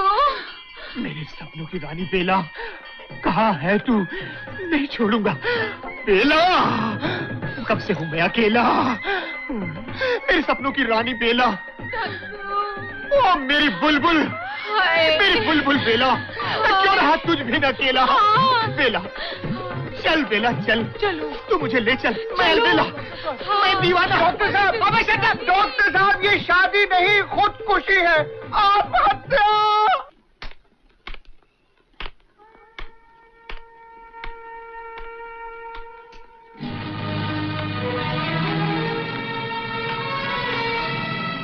आज ही क्या हो गया है तुम्हें? अंधेरे में बैठे हो। शराब पे शराब पिए जा रहे हो। कोई परेशानी है? हाँ सपना। मैं बहुत परेशान हूँ।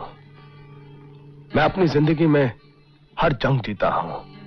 कहीं ऐसा तो नहीं। अपने बेटे से हार जाऊँ। बहुत बहुत बदल गया है। अपनी मर्ज़ी से आता है। मर्ज़ी से जाता है। बात करता है तो शब्द कम, कांटे ज़्यादा होते हैं। कारण पूछो तो मुस्कुराकर टाल देता है। मुझे तो उसकी मुस्कुराहट से भी खौफ लगने लगा है। कहीं ऐसा तो नहीं कि रंजीत हम बाप बेटे के बीच में नफरत की दीवार खड़ी कर रहा हो? पता नहीं। पूछती तो मैं भी हूँ। लेकिन ठीक से जवाब मुझे भी नहीं देता। हम एक बार जाकर राधा से मिल लेते हैं। रवि राधा को बहुत प्यार करता है। उसने अपने दिल की बात राधा को तो बताई होगी। और अगर उसके दिल में हमारे खिलाफ रंजीत ने गलत फहमी पैदा कर दी है तो वो उसे दूर करेगी। रवि हमारी बात का तो विश्वास करेगा नहीं। इसलिए एक बार हमारा राधा से मिलना बहुत ज़रूरी है। क्या सोच रही है? मैं ये सोच रही हूँ कि श्राद्ध वाले दिन तुम्हारे माँ बाप के साथ जो सलूक किया था वो ठीक नहीं था। ये तुम इसलिए कह रही हो क्योंकि तुम पूरी तरह हकीकत से वाकिफ नहीं बीस साल पहले, मेरे दादा दादी ने अपनी औलाद के हाथों जो जुल्म सहे उनकी हकीकत जानना चाहती हो? आओ मेरे साथ। ये डायरी मेरे बूढ़े दादा दादी के दुखों की दास्तान है और मेरे बाबूजी की उन जुल्मों की किताब है, जो पिछले 20 साल से वो करते आ रहे हैं और 20 साल से लोग सहते आ रहे हैं। इसे पढ़ो। इसे पढ़ने के बाद तुम्हारे जहन पर पड़े शक के पर्दे हट जाएँगे और उन पर्दों के पीछे तुम्हें सच्चाई रोती हुई नज़र आएगी। लो पढ़ो इसे। नहीं रवि। हालात देखने के बाद ये डायरी पढ़ने की कोई ज़रूरत नहीं। रवि? हाँ? जी दादाजी। ये कौन है? ये ये वो ये ये वो मेरी नानी है। नहीं ये वो कौन हो तुम? नाम भी नहीं मालूम। नहीं वो नाम याद आ गया। इसका नाम राधा है हाँ। और ये गोभी फूल अपना फूलचंदी की बेटी। अच्छा अच्छा पाँच जो। पाँव छूने के लिए कह रहा है बेटी। ज़ोर से बोला करना। बस बेटी बस। अरे बस बस बस बस फिर बेटी ये पकड़। बेटी तेरा बाप और मैं बहुत जमाने की दोस्त हैं। एक बात बोलता हूँ बुरा मत माना। जिस दिन तू पैदा हुई थी ना तो तेरा बाप धाड़े मार मार के रो रहा था। ऐसे रो रहा था सारे शहर में भोचाल आ गए। इतने मोटे मोटे आँसू गिरा रहा था वो। लेकिन अब भगवान का शुक्र अदा करता है कि भगवान ने उसको इस बेटी की जगह बेटा नहीं दे दिया मिठाइयाँ बांटता फिरता है वो। बेटे एक खास बात बोलूँ? क्या है? उधर देख। ये जो रवि है ना ये अपने दादा की तरह थोड़ा सनकी है। जरा ख्याल रखना है इसका। दादी ये अजय बस भी कीजिए ना। क्यों? क्या बच्चों से ऐसी बातें करते हैं? ये क्या बात हुई? तो मेरे घर जब पहली बार आई थी तो मेरे पिता ने तुमसे नहीं कहा था ये गंगाराम थोड़ा सनकी है इसका जरा ख्याल रखना। कहा था या नहीं? हाँ मगर उस रोज मैं ब्याह कर आपके घर आई तो ये भी आ जाएगी? कितना वक्त लगने वाला है? मैंने ज़िंदगी में भगवान से कुछ नहीं मांगा मगर ये बहुत तो ज़रूर मांगूँगा। और इसके माध्यम में साफ़ लिखा है कि दुनिया में कहीं नहीं जा सकती। सिर्फ़ गंगाराम की बहू बनकर आएगी। क्यों बेटी? सही कह रहा हूँ ना?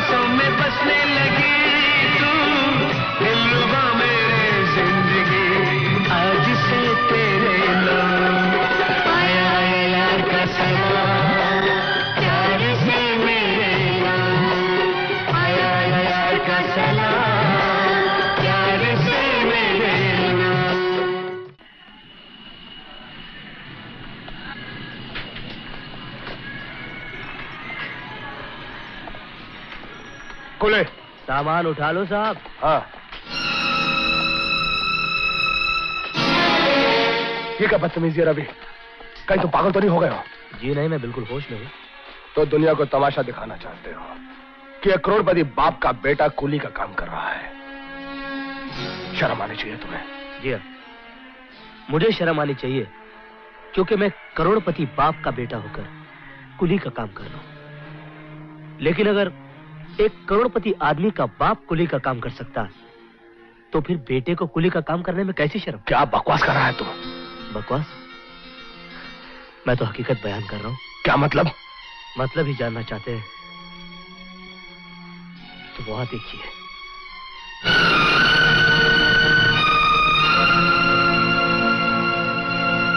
पिताजी।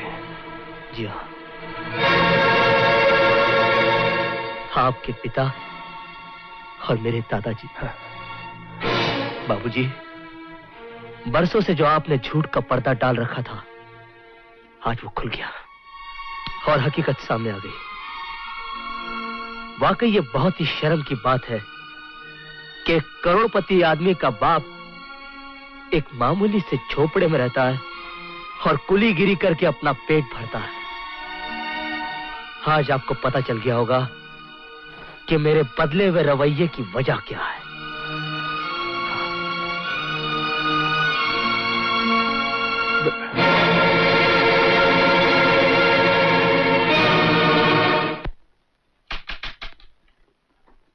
आ जाओ भाई, दरवाज़ा खुला है।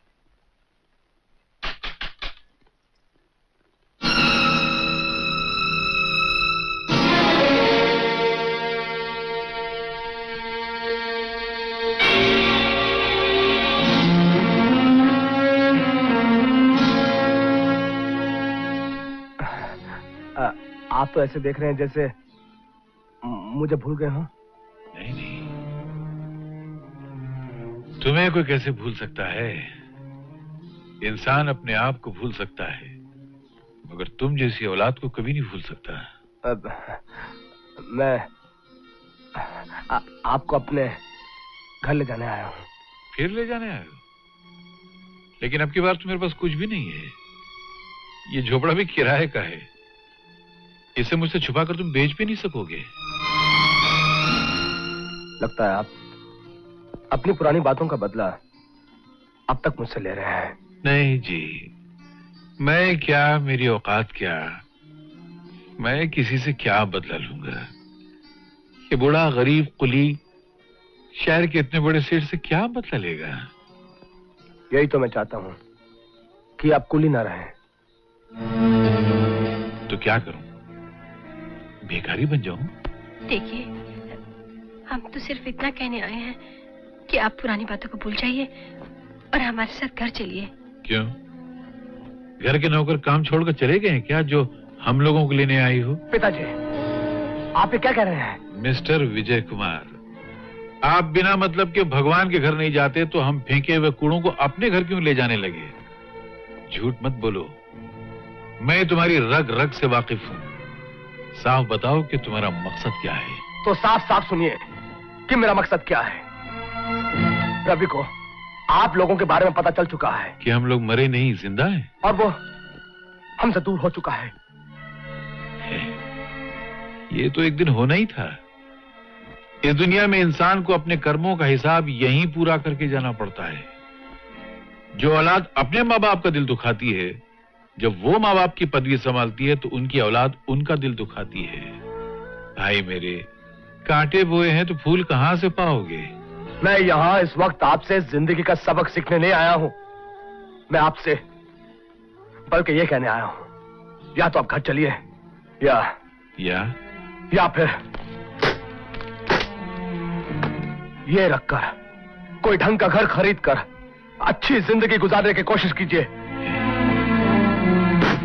खुद का घर टूटने लगा तो रिश्वत मुझे घर दिलाने चले आए विजय, तुम्हारी सारी ज़िंदगी गुजर गई, तुम अब तक रिश्वत और बेईमानी की दलदल से बाहर नहीं आए हो। और रिश्वत भी देने आए किसको? इस गंगाराम को।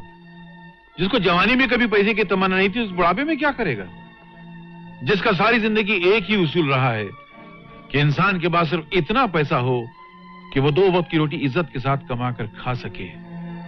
जहाँ पैसा रोटी की हद से बढ़ गया, वहीं इंसान बेईमानी के दलदल में गड़ गया। और ये गंगाराम, मौत के दलदल में गड़ जाएगा, मगर बेईमानी के दलदल में कभी नहीं गड़ेगा। इसलिए आइंदा, कभी ऐसी बेहुदा तमन्ना लेकर इस दहलीज पर कदम रखने की कोशिश मत करना। यह तुम्हारी ज़िंदगी का सौदा है, तुम्हारी ज़िंदगी का सवाल है, इसे खुद ही हल करो। यहाँ कभी मत आना। चले जाना से। गंगाराम को खरीदने आए हैं।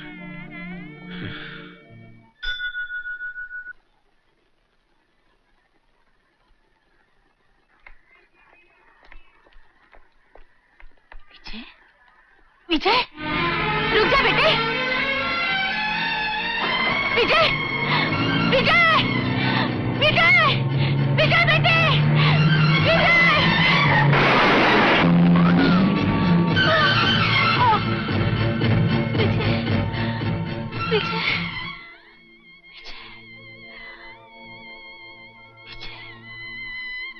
मेरे बेटे कब आएगा तू माँ? तू तो आ गया बेटे? हाँ माँ। तू बिल्कुल बात मत कर। माँ मैं मैं तेरे इलाज का पूरा प्रबंध कर कर आया हूँ माँ। तू बिल्कुल अच्छी हो जाएगी माँ। तू बिल्कुल अच्छी हो जाएगी। जानते हो तेरे बाबूजी क्या कहते थे? तू नहीं आएगा। और मैंने कहा विजय विजय मेरा बेटा है। वो मेरे लिए दुनिया को ठुकरा देगा। लेकिन मेरे पास ज़रूर आएगा। ज़रूर आएगा। सुनिए, मैं ना हमेशा कहती थी, माँ से ज़्यादा बेटे को कोई नहीं समझ सकता, क्योंकि माँ के प्यार की उम्र औरों के प्यार की उम्र से नौ महीने ज़्यादा होती है। क्योंकि माँ नौ महीने बच्चे को अपने पेट में रखती है। तू चुप हो जा माँ। कुछ बोल मत। कुछ मत बोल। हाँ माँ। हाँ। हाँ।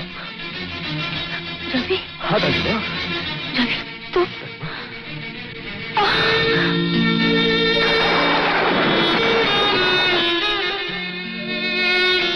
माँ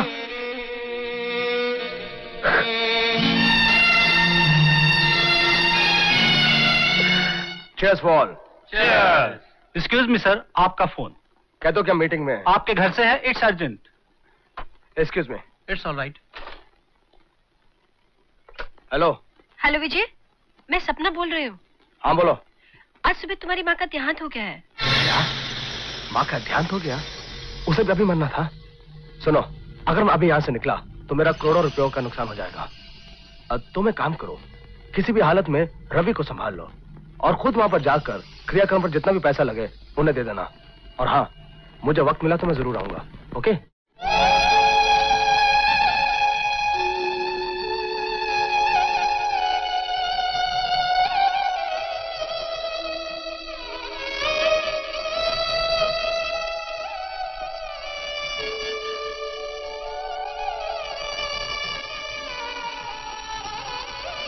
बेटे का इंतज़ार करते करते आँखें इतनी थक गई कि हमेशा के लिए सो गई। ये भी नहीं सोचा कि ये बूढ़ा अपनी ज़िंदगी के बोझ को कमज़ोर कांधों पर नहीं उठा सकता। दादाजी अकेला नहीं उठा सकता। दादाजी नहीं उठा सकता।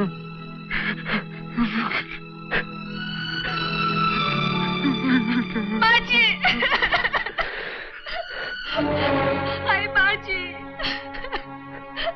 ये क्या हो गया बाजी? आप हमें छोड़कर क्यों चले गए बाजी? हमें दो दिन आपकी सेवा करने का मौका तो दिया होता बाजी। माँ बाबूजी भी है क्या बताऊँ बेटा? मैंने लाख कोशिश की फ़ोन पे फ़ोन किए। लेकिन उनसे बात नहीं हुई। हाय, उनको तो ये भी नहीं पता होगा कि उनकी माँ का देहांत हो गया है। अगर उनको पता चल जाता बेटा तो वो ज़रूर आते ज़रूर आते बेटा।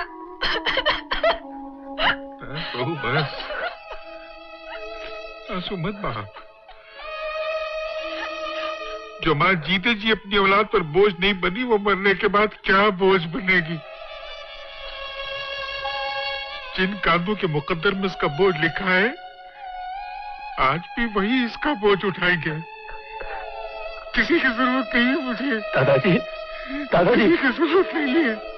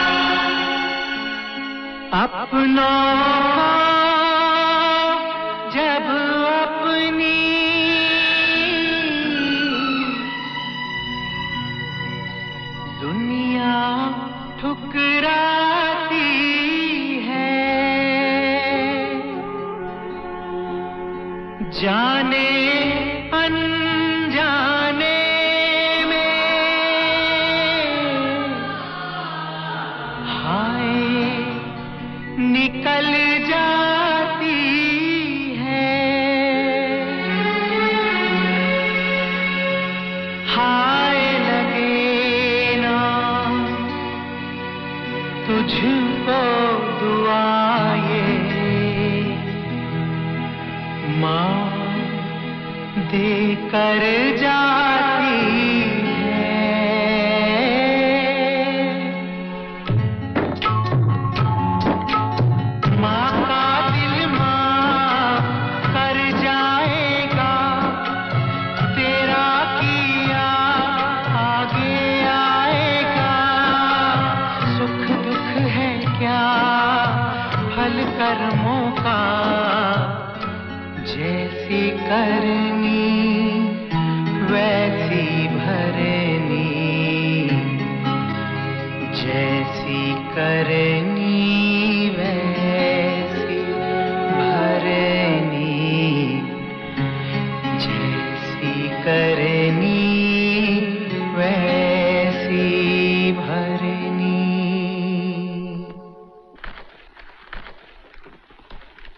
सत्रह करोड़ की बिल्डिंग का प्रोजेक्ट है ये।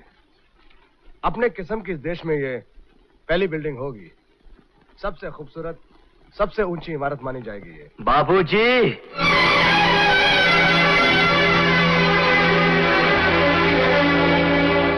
इस देश की सबसे ऊँची इमारत तो बना रहे हैं आप।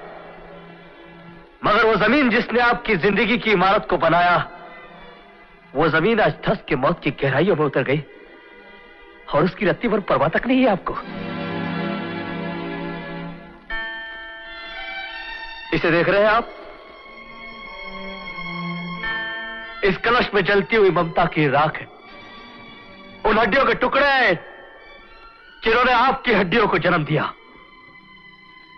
राख की शक्ल में इसमें आपकी माँ का शरीर बंद है, बाबूजी। वो शरीर जिसने आपको नौ महीने अपनी कोख में रखा और उसका आपने यह सिला दिया कि उसकी अर्थी को कांधा देने के लिए आपके पास वक्त नहीं था।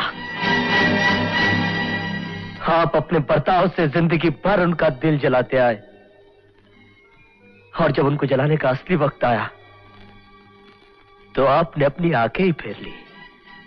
बेटे का सबसे बड़ा फ़र्ज़ होता है माँ के दूध का कर्ज उतारना। उसकी चिता को आप लेकिन आप आप तो पैसा कमाने में इतने मसरूफ रहे कि आपने वो कर्ज भी नहीं उतारा। रवि इन सब बातों के लिए यही जगह है क्या? बाबूजी मैं तो सिर्फ़ ये कहने के लिए आया हूँ कि अब भी वक्त है। अब भी वक्त है माँ के एहसानों के सागर में फ़र्ज़ के चंद कतरे अदा करने का। धर्म के अनुसार अस्थियों का विसर्जन किए बिना मरने वाले इंसान की आत्मा को शांति नहीं मिलती। मगर आपके पास तो इतना वक्त ही नहीं है। कि इस राख को ले जाकर अपने हाथों से गंगा की लहरों में विसर्जन करें? इसलिए इसलिए मैं इस कलश को आपके पास लेके आया हूँ कि आप इसे सिर्फ़ छू दीजिए। बाकी फ़र्ज़ मैं अदा कर दूँगा। छूइए बाबूजी। क्या सोच रहे बाबूजी? किनसे शर्मा रहे इन लोगों से? यहाँ पर जितने बड़े आदमी मौजूद हैं इन लोगों में से कोई ऐसा आदमी नहीं है जो बिना माँ बाप के इस धरती पर आया है। बाबूजी, छुइए इसे। बाबूजी, छुइए इसे। छुइए बाबूजी।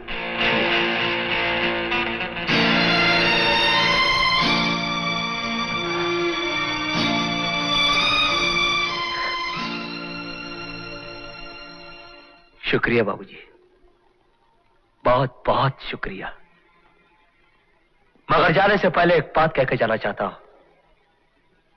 जिस चिता की आग में मेरी दादी जल गई, उसी आग में मेरा और आपका रिश्ता भी जल गया। जो गम, जो दुख आपने अपने माँ बाप को दिए, अब आपकी बारी है। जब आपकी अपनी ये इकलौती औलाद आपसे जुदा हो जाएगी ना, तब आपको पता चलेगा कि औलाद की जुदाई का दर्द मौत के दर्द से भी ज़्यादा होता है। अब आपका मेरा कोई रिश्ता नहीं। मैं जा रहा हूँ बाबूजी। आपको छोड़कर हमेशा हमेशा के रवि रवि रवि।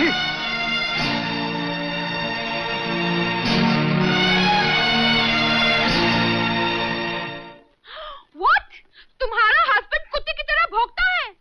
ओह और तुम्हारा कुत्ता मुँह में बैग उठाकर ऑफ़िस को चला जाता है।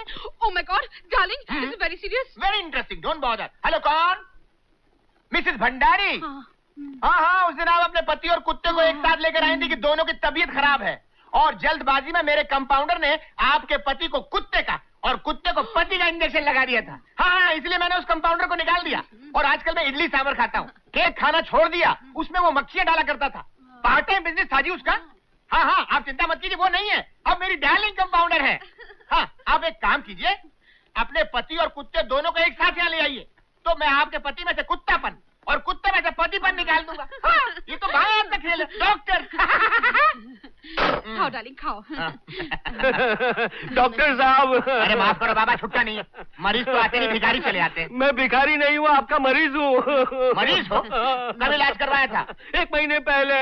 कमाल है अभी तक ज़िंदा? वेरी लकी वेरी लकी क्या इलाज करवाया था? आपसे झूठ बोलने का इंजेक्शन लगवाया था। ओ, याद आया। दो सौ रूपए की जगह झूठ बोलकर दो रुपए देकर खिसक गए थे तुम? डॉक्टर साहब अब तो मेरी हालत खिसक के रह गई है। आपसे इंजेक्शन लगवाने के बाद इतना झूठ बोलना शुरू कर दिया कि आधा शहर मेरे पीछे डंडा लेके भाग रहा है। मेरे जान के पड़ गए लाले। अब तो तू ही बचा ले। डॉक्टर साहब आज का एक किस्सा सुनिए हिजड़ों का। पैसे की लालच में आके हिजड़ों के झगड़े में कोर्ट में गवाही देने चला गया। गवाही तो देनी थी सच की। लेकिन जज साहब के सामने झूठ बोल दिया। कि एक हिजड़े ने औरत का बलात्कार किया बलात्कार शब्द सुनते ही हिजड़े की जमात गुस्से में आ गई। जैसे ही कोर्ट से बाहर निकला तो सब हिजड़ों ने अपने घाघरे हिला हिला कर मुझे इतनी लाते मारी इतनी लाते मारी कि सीधा आपके दवाखाने में आके गिरा। डॉक्टर साहब मुझे झूठ से बचा लीजिए। मुझे सच का इंजेक्शन लगा दीजिए जल्दी से प्लीज़ आ, समझ गया समझ गया पकड़ में आया। इसे कहते हैं जैसे को तैसा। चार सौ रूपए निकालो। चार सौ रुपया? जी हाँ दो सौ रुपया पिछली बार का। और दो सौ रूपया अभी सच का इंजेक्शन लगाने का। निकालो निकालो निकालो। वो तो दूँगा आप इंजेक्शन तो लगाइए। नहीं नहीं देगा तो हवा आने दे खिसक। साहब, ये लीजिए। एक लवली, दो लवली, तीन लवली। चार। कड़क कड़क। चलो रोते रोते लेट जाओ।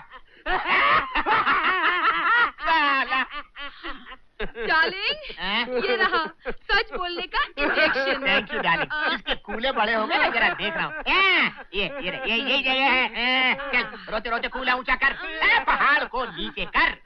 A A A A one A two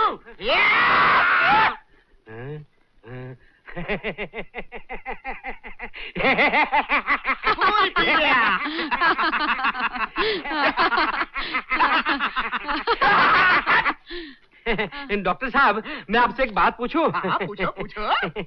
ये धुआँ कहाँ से निकला था? हाँ, ये तो हमारे सच बोलने वाले इंजेक्शन का कमाल है। सारे कीड़े छूट के चल के निकल गए। भूत भाग गया। अब तुम सच बोलने लगोगे?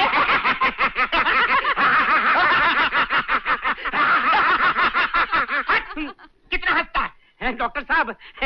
एक सच मेरे पेट में उबल रहा है। उबालो उबालो निकालो। निकालो निकालो। मैंने जो आपको सौ सौ के चार नोट दिए ना हाँ, ये रहे। ये कड़क कड़क।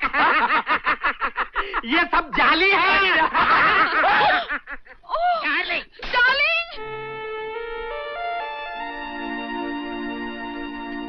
दादाजी इन कागजात पे दस्तखत कर दीजिए। किस चीज़ के कागजात हैं ये? आज से 20 साल पहले मेरे बाबूजी ने आपसे आपकी ज़मीन धोखे से जब्त की थी। उसे दोबारा हासिल करने के लिए मैं उन पर कानूनी कार्रवाई करना चाहता हूँ। क्या कहूँ? तू भी अपने बाप के साथ वही कर रहा है जो तेरे बाप ने अपने बाप के साथ किया था। तो तुझ में और उसमें फ़र्क क्या रह गया? ज़मीन आसमान का फ़र्क है। उन्होंने धोखा दिया था और मैं अपना हक वसूल कर रहा हूँ। जब मैं इतना सा था तो मुझे मेरे दादाजी ने सिखाया था कि हक सच्चाई का दूसरा नाम है। उसे पाने के लिए भले अपनी जान की बाजी लगानी पड़े तो लगा देना, मगर उसे हासिल करके रहना। मैं उस शिक्षा को आज तक भूला नहीं हूँ, दादाजी। मैं अपना हक हासिल करके रहूँगा, भले यह दुनिया इधर की उतर जाए।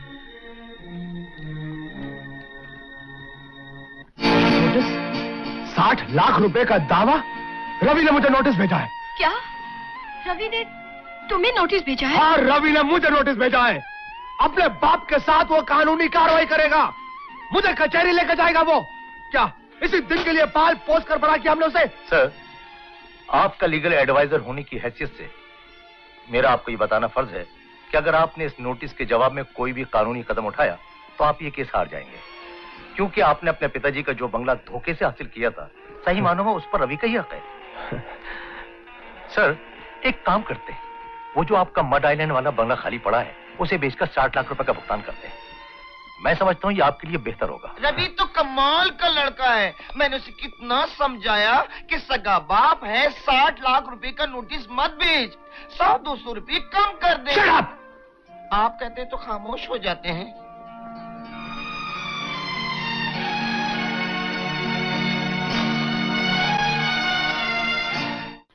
हैं, मिस्टर निश्चल? एक महीना पहले मैंने अपनी प्रोजेक्ट रिपोर्ट सबमिट कराई थी और आप अब कह रहे कि आपके सेंट्रल ऑफ़िस ने मेरा प्रोजेक्ट रिजेक्ट कर दिया? क्यों? वाई इसलिए कि उस ज़मीन को आपने चार करोड़ में खरीदा और उस ज़मीन का रियल वैल्यूएशन सिर्फ़ तीन करोड़ है। ज़मीन खरीदने में ही एक करोड़ का नुकसान और उस ज़मीन पर आप कितनी भी ऊँची बिल्डिंगें बनाए, कितने ही महँगे फ्लैट्स बनाए और कितनी ही ऊँची कीमत पर बेचें फिर भी उस ज़मीन पर आपको पचास लाख का नुकसान है। और हमारा बैंक ऐसे नुकसान के प्रपोजल को फाइनेंस नहीं करता I am sorry mister Gulshan एक बात और मिस्टर गुलशन विजय वर्मा ने तुम्हारे साथ बहुत बुरा किया। तुम्हें उकसाया कि तुम ऊँची से ऊँची बोली बोलो और तुमने अपना एक करोड़ का नुकसान कर लिया। विजय वर्मा महँगे सौदे में फंसा दिया। कोई बात नहीं। मैं भी इतनी आसानी से हार मानने वालों में से नहीं हूँ। बिज़नेस के धंधे में बेशक मैं मार खा गया, मगर ज़िंदगी के धंधे में मैं मार नहीं खाऊँगा। मैं तेरा नाम और निशान मिटा दूँगा ऊपर दिखा दिया, नीचे दिखा दिया एक एक कमरा खोल के दिखा दिया। पसंद तो आया होगा। लो, पसंद आने जैसी बात भी क्या है? वो तो सब ठीक है लेकिन विजय बाबू कहाँ है? बस अभी आते ही होंगे। लो वो आ गए। कितनी लंबी उम्र है उनका नाम लिया वो हाजिर हो गए। मिस्टर मैंने इन्हें सब कुछ दिखा दिया है। कैसा लगा सेठ जी? जगह तो ठीक है और आपने जो रकम बोली है साठ लाख रुपए वो भी ठीक है। हमें सौदा मंजूर है। इसलिए ये लीजिए एडवांस पाँच लाख रुपए। ठहरिए। सौदा तो आपने तय कर लिया, मगर अफसोस, गलत किया। किया बाबूजी शायद ये भूल रहे कि मेरी इक्कीसवीं साल सालगिरह पर यानी के बर्थडे पर बाबूजी ने यह बंगला मुझे बतौर तोहफे में दिया था। इसलिए इसलिए बेचने का हक मेरा है, सिर्फ़ मेरा।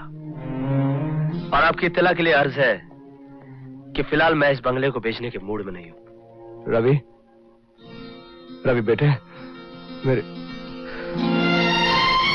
विजय बाबू, ये क्या मज़ाक लगा रखा है आपने? अगर आइंदा आपने ऐसा मज़ाक किया ना तो हमसे बुरा कोई ना होगा।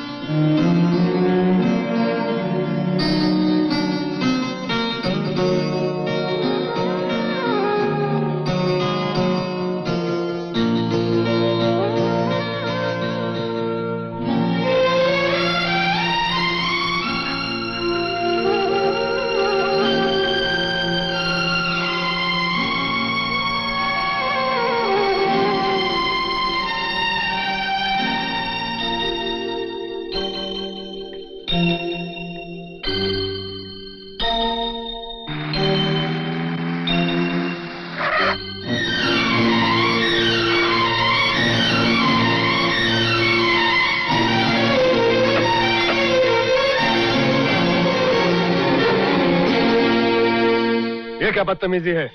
किसके हुक्म से तुमने ये बोर्ड बदला है? तुम्हें मालूम नहीं कि घर मेरा है? रवि क्या है बाबूजी?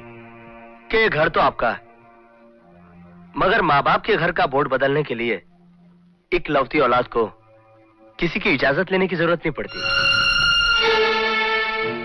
भूल गए बाबूजी? आज से 25 साल पहले आपने भी तो इसी तरह गंगा लक्ष्मी निवास का बोर्ड निकालकर विजय सपना अपार्टमेंट्स बनवाया था। और अगर गंगा लक्ष्मी निवास विजय सपना अपार्टमेंट्स बन सकता है तो विजय सपना भवन रवि राधा निवास क्यों नहीं बन सकता?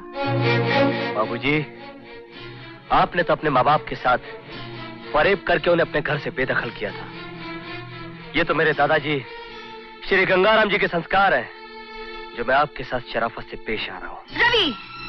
तुम्हें अपने माँ बाप से भी बात करने की तमीज नहीं है। तमीज सिखाने का हक उन्हें होता है जिन्हें तमीज का मतलब मालूम हो? मुझे तो शर्म आती है अपने आप पर कि मैंने तुमने इसी फरेबी और लालची माँ की कोख से जन्म लिया। चिल्लाइए मत चिल्लाना मुझे भी आता है। इससे पहले कि मैं अपने हाथ से चली जाइए ऐसे हाँ राधा गोरखा दरवाज़ा बंद करो।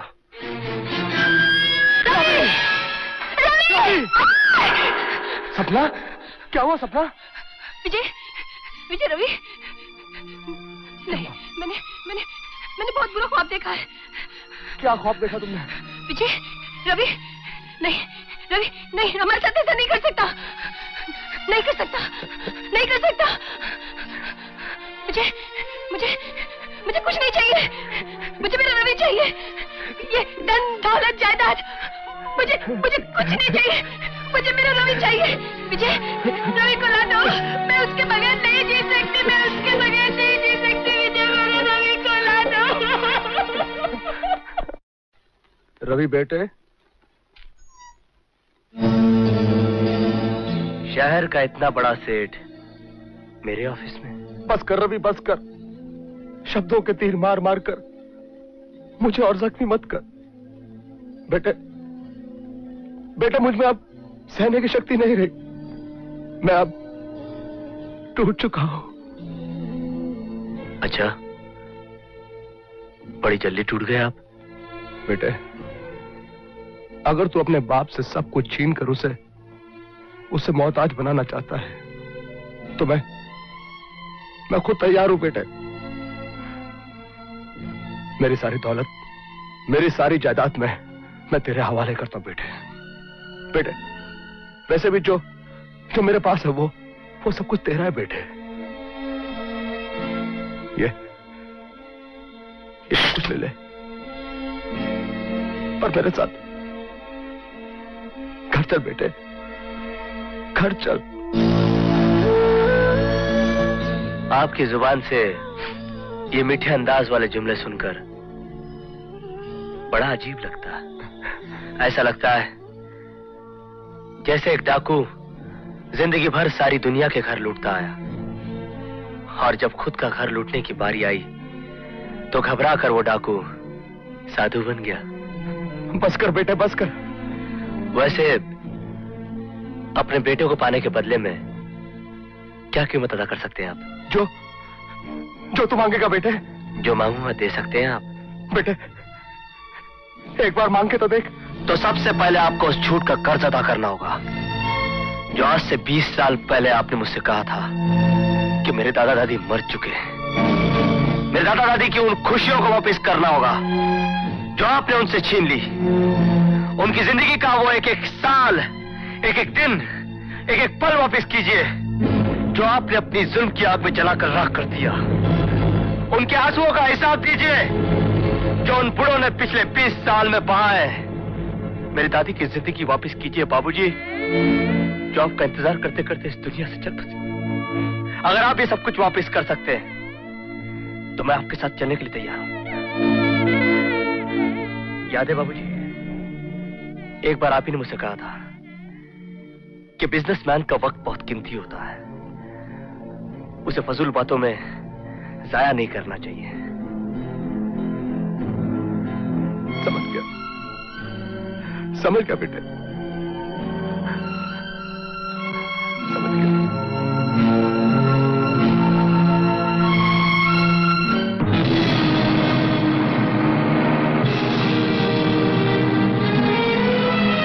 जब आपकी अपनी ये इकलौती औलाद आपसे जुदा हो जाएगी ना, तब आपको पता चलेगा कि औलाद की जुदाई का दर्द मौत के दर्द से भी ज़्यादा होता है। लेकिन मेरी एक बात याद रखना बेटे। तुम्हारी उम्र मेरे तजुर्बे से बहुत कम है। तुमने उतनी दीवालियाँ नहीं देखी है जितनी मैंने तुम जैसे बिकने वालों की बर्बादियाँ देखी हैं। एक दिन आएगा, जब तुम छाती पीट पीट के दुनिया को अपनी बर्बादी का किस्सा सुनाना चाहोगे तो वहाँ सुनने वाला कोई नहीं होगा। सिर्फ़ रोने वाले तुम होगे।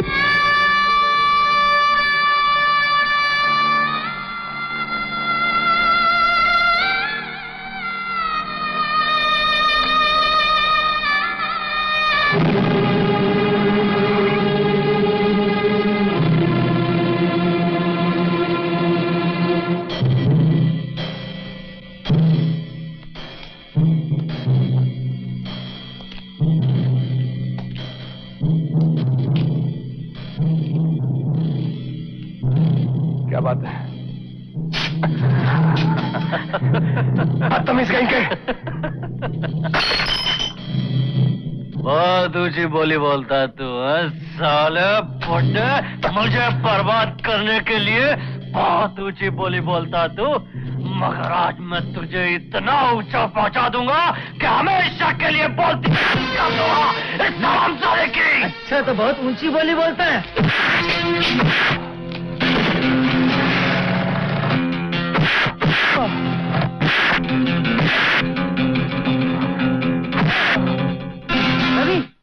लोगों ने तेरे डैडी पे हमला कर दिया?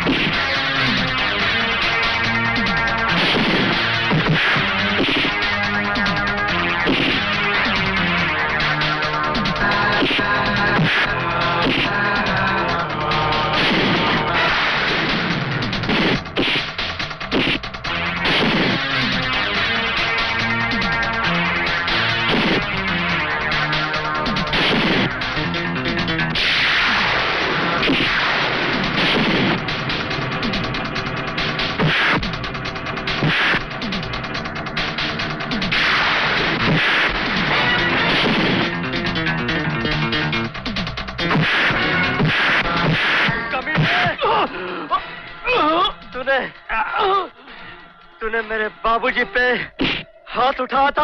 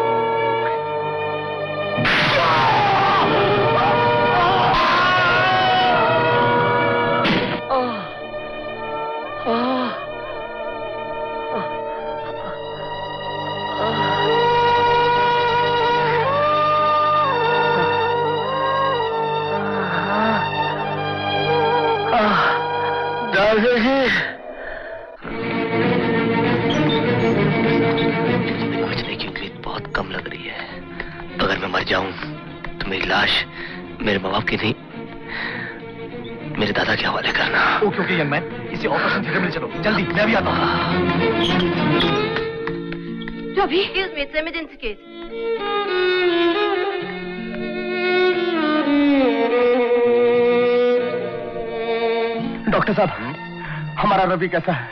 उसकी जान को कोई खतरा तो नहीं? आ, अभी कुछ कहा नहीं आ सकता। जितना कुछ मेरे बस में है मैं करूँगा। बाकी ज़िंदगी देना ना देना उसके हाथ में है।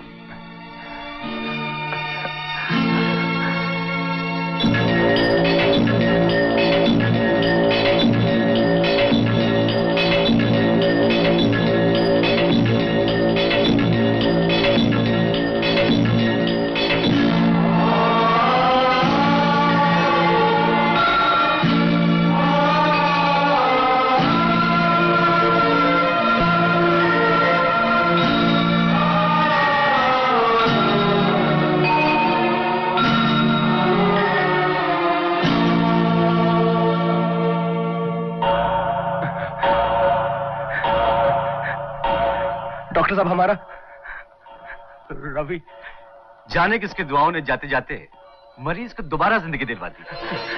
कभी कभी ऊपर वाला डॉक्टर के हाथों से चमत्कार करवा देता है। आज भी चमत्कार हुआ है। इलाज नहीं। मगर आप दोनों मरीज़ के कौन है? हम उसके माँ बाप है डॉक्टर साहब अगर मरीज़ बात करने की हालत में तो क्या हम लोग उससे मिल सकते हैं? जी बात करने की हालत में तो है। लेकिन आप लोग उससे मिल नहीं सकते। क्यों? क्योंकि मरीज़ आप लोगों से मिलना नहीं चाहता। जी। आई एम सॉरी वो सिर्फ़ अपने दादाजी से मिलना चाहता है। हमसे क्यों नहीं डॉक्टर साहब? सिर्फ़ एक बार डॉक्टर साहब सिर्फ़ एक बार। आई एम एक्सट्रीमली सॉरी हमारे गुनाहों की इतनी बड़ी सजा दे रहा है इतनी बड़ी।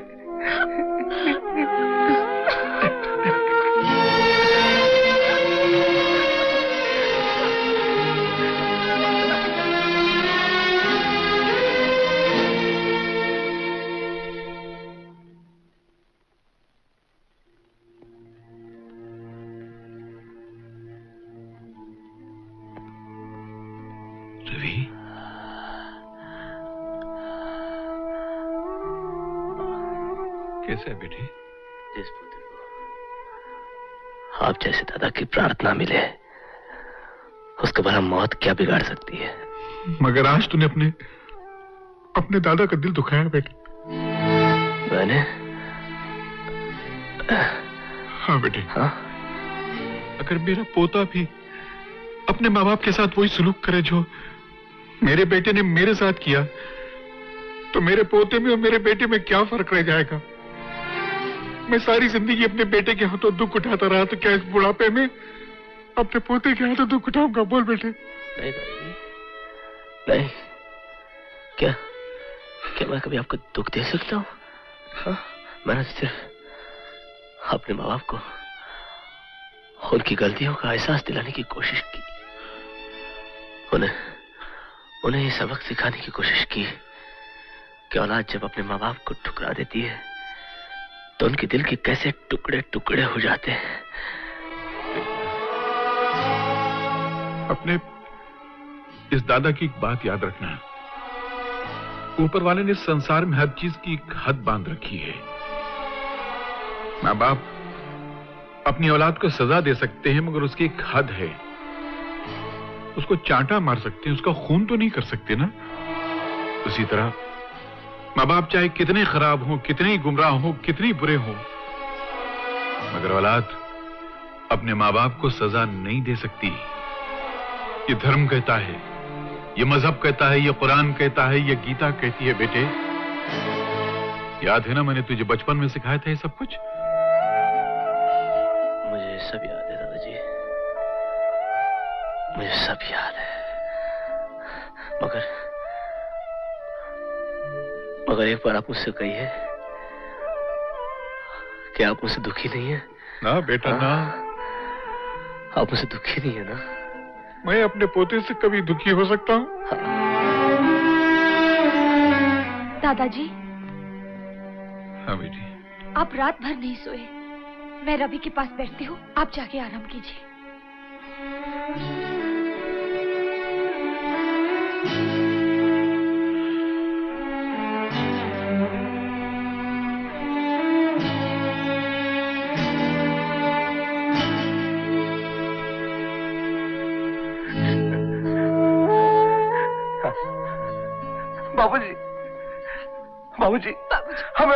हमें माफ़ कर दीजिए उठो बच्चा।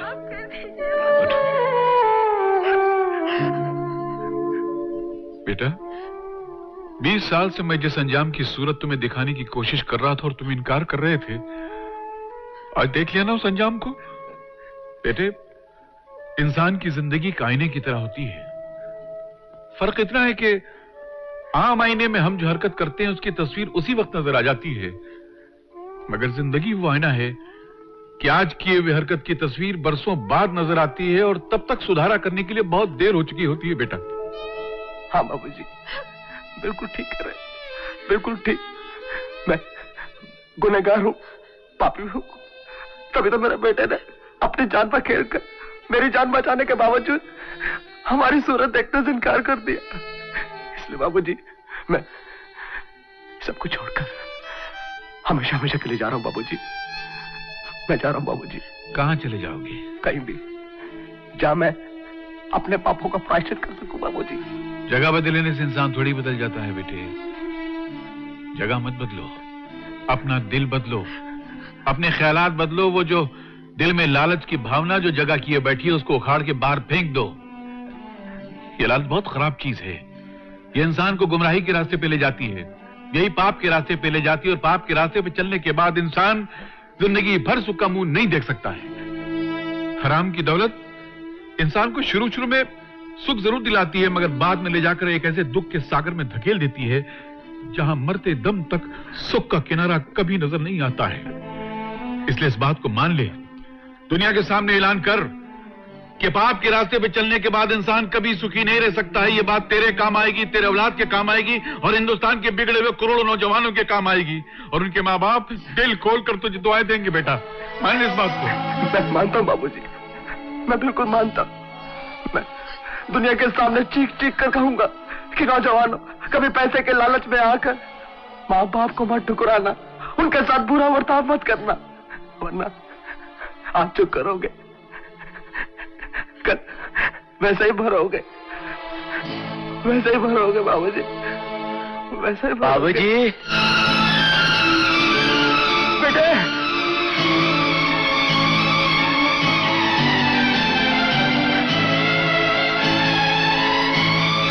रवि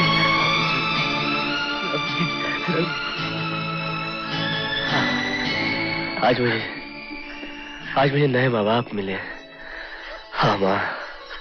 हाँ। बाबूजी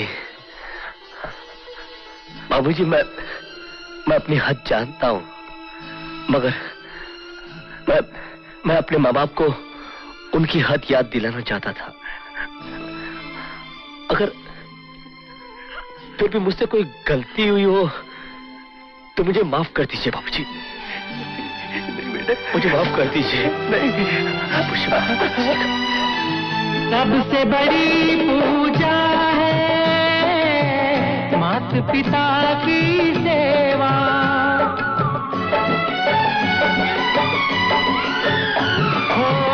सबसे बड़ी पूजा है मात पिता की सेवा। किस्मत वालों को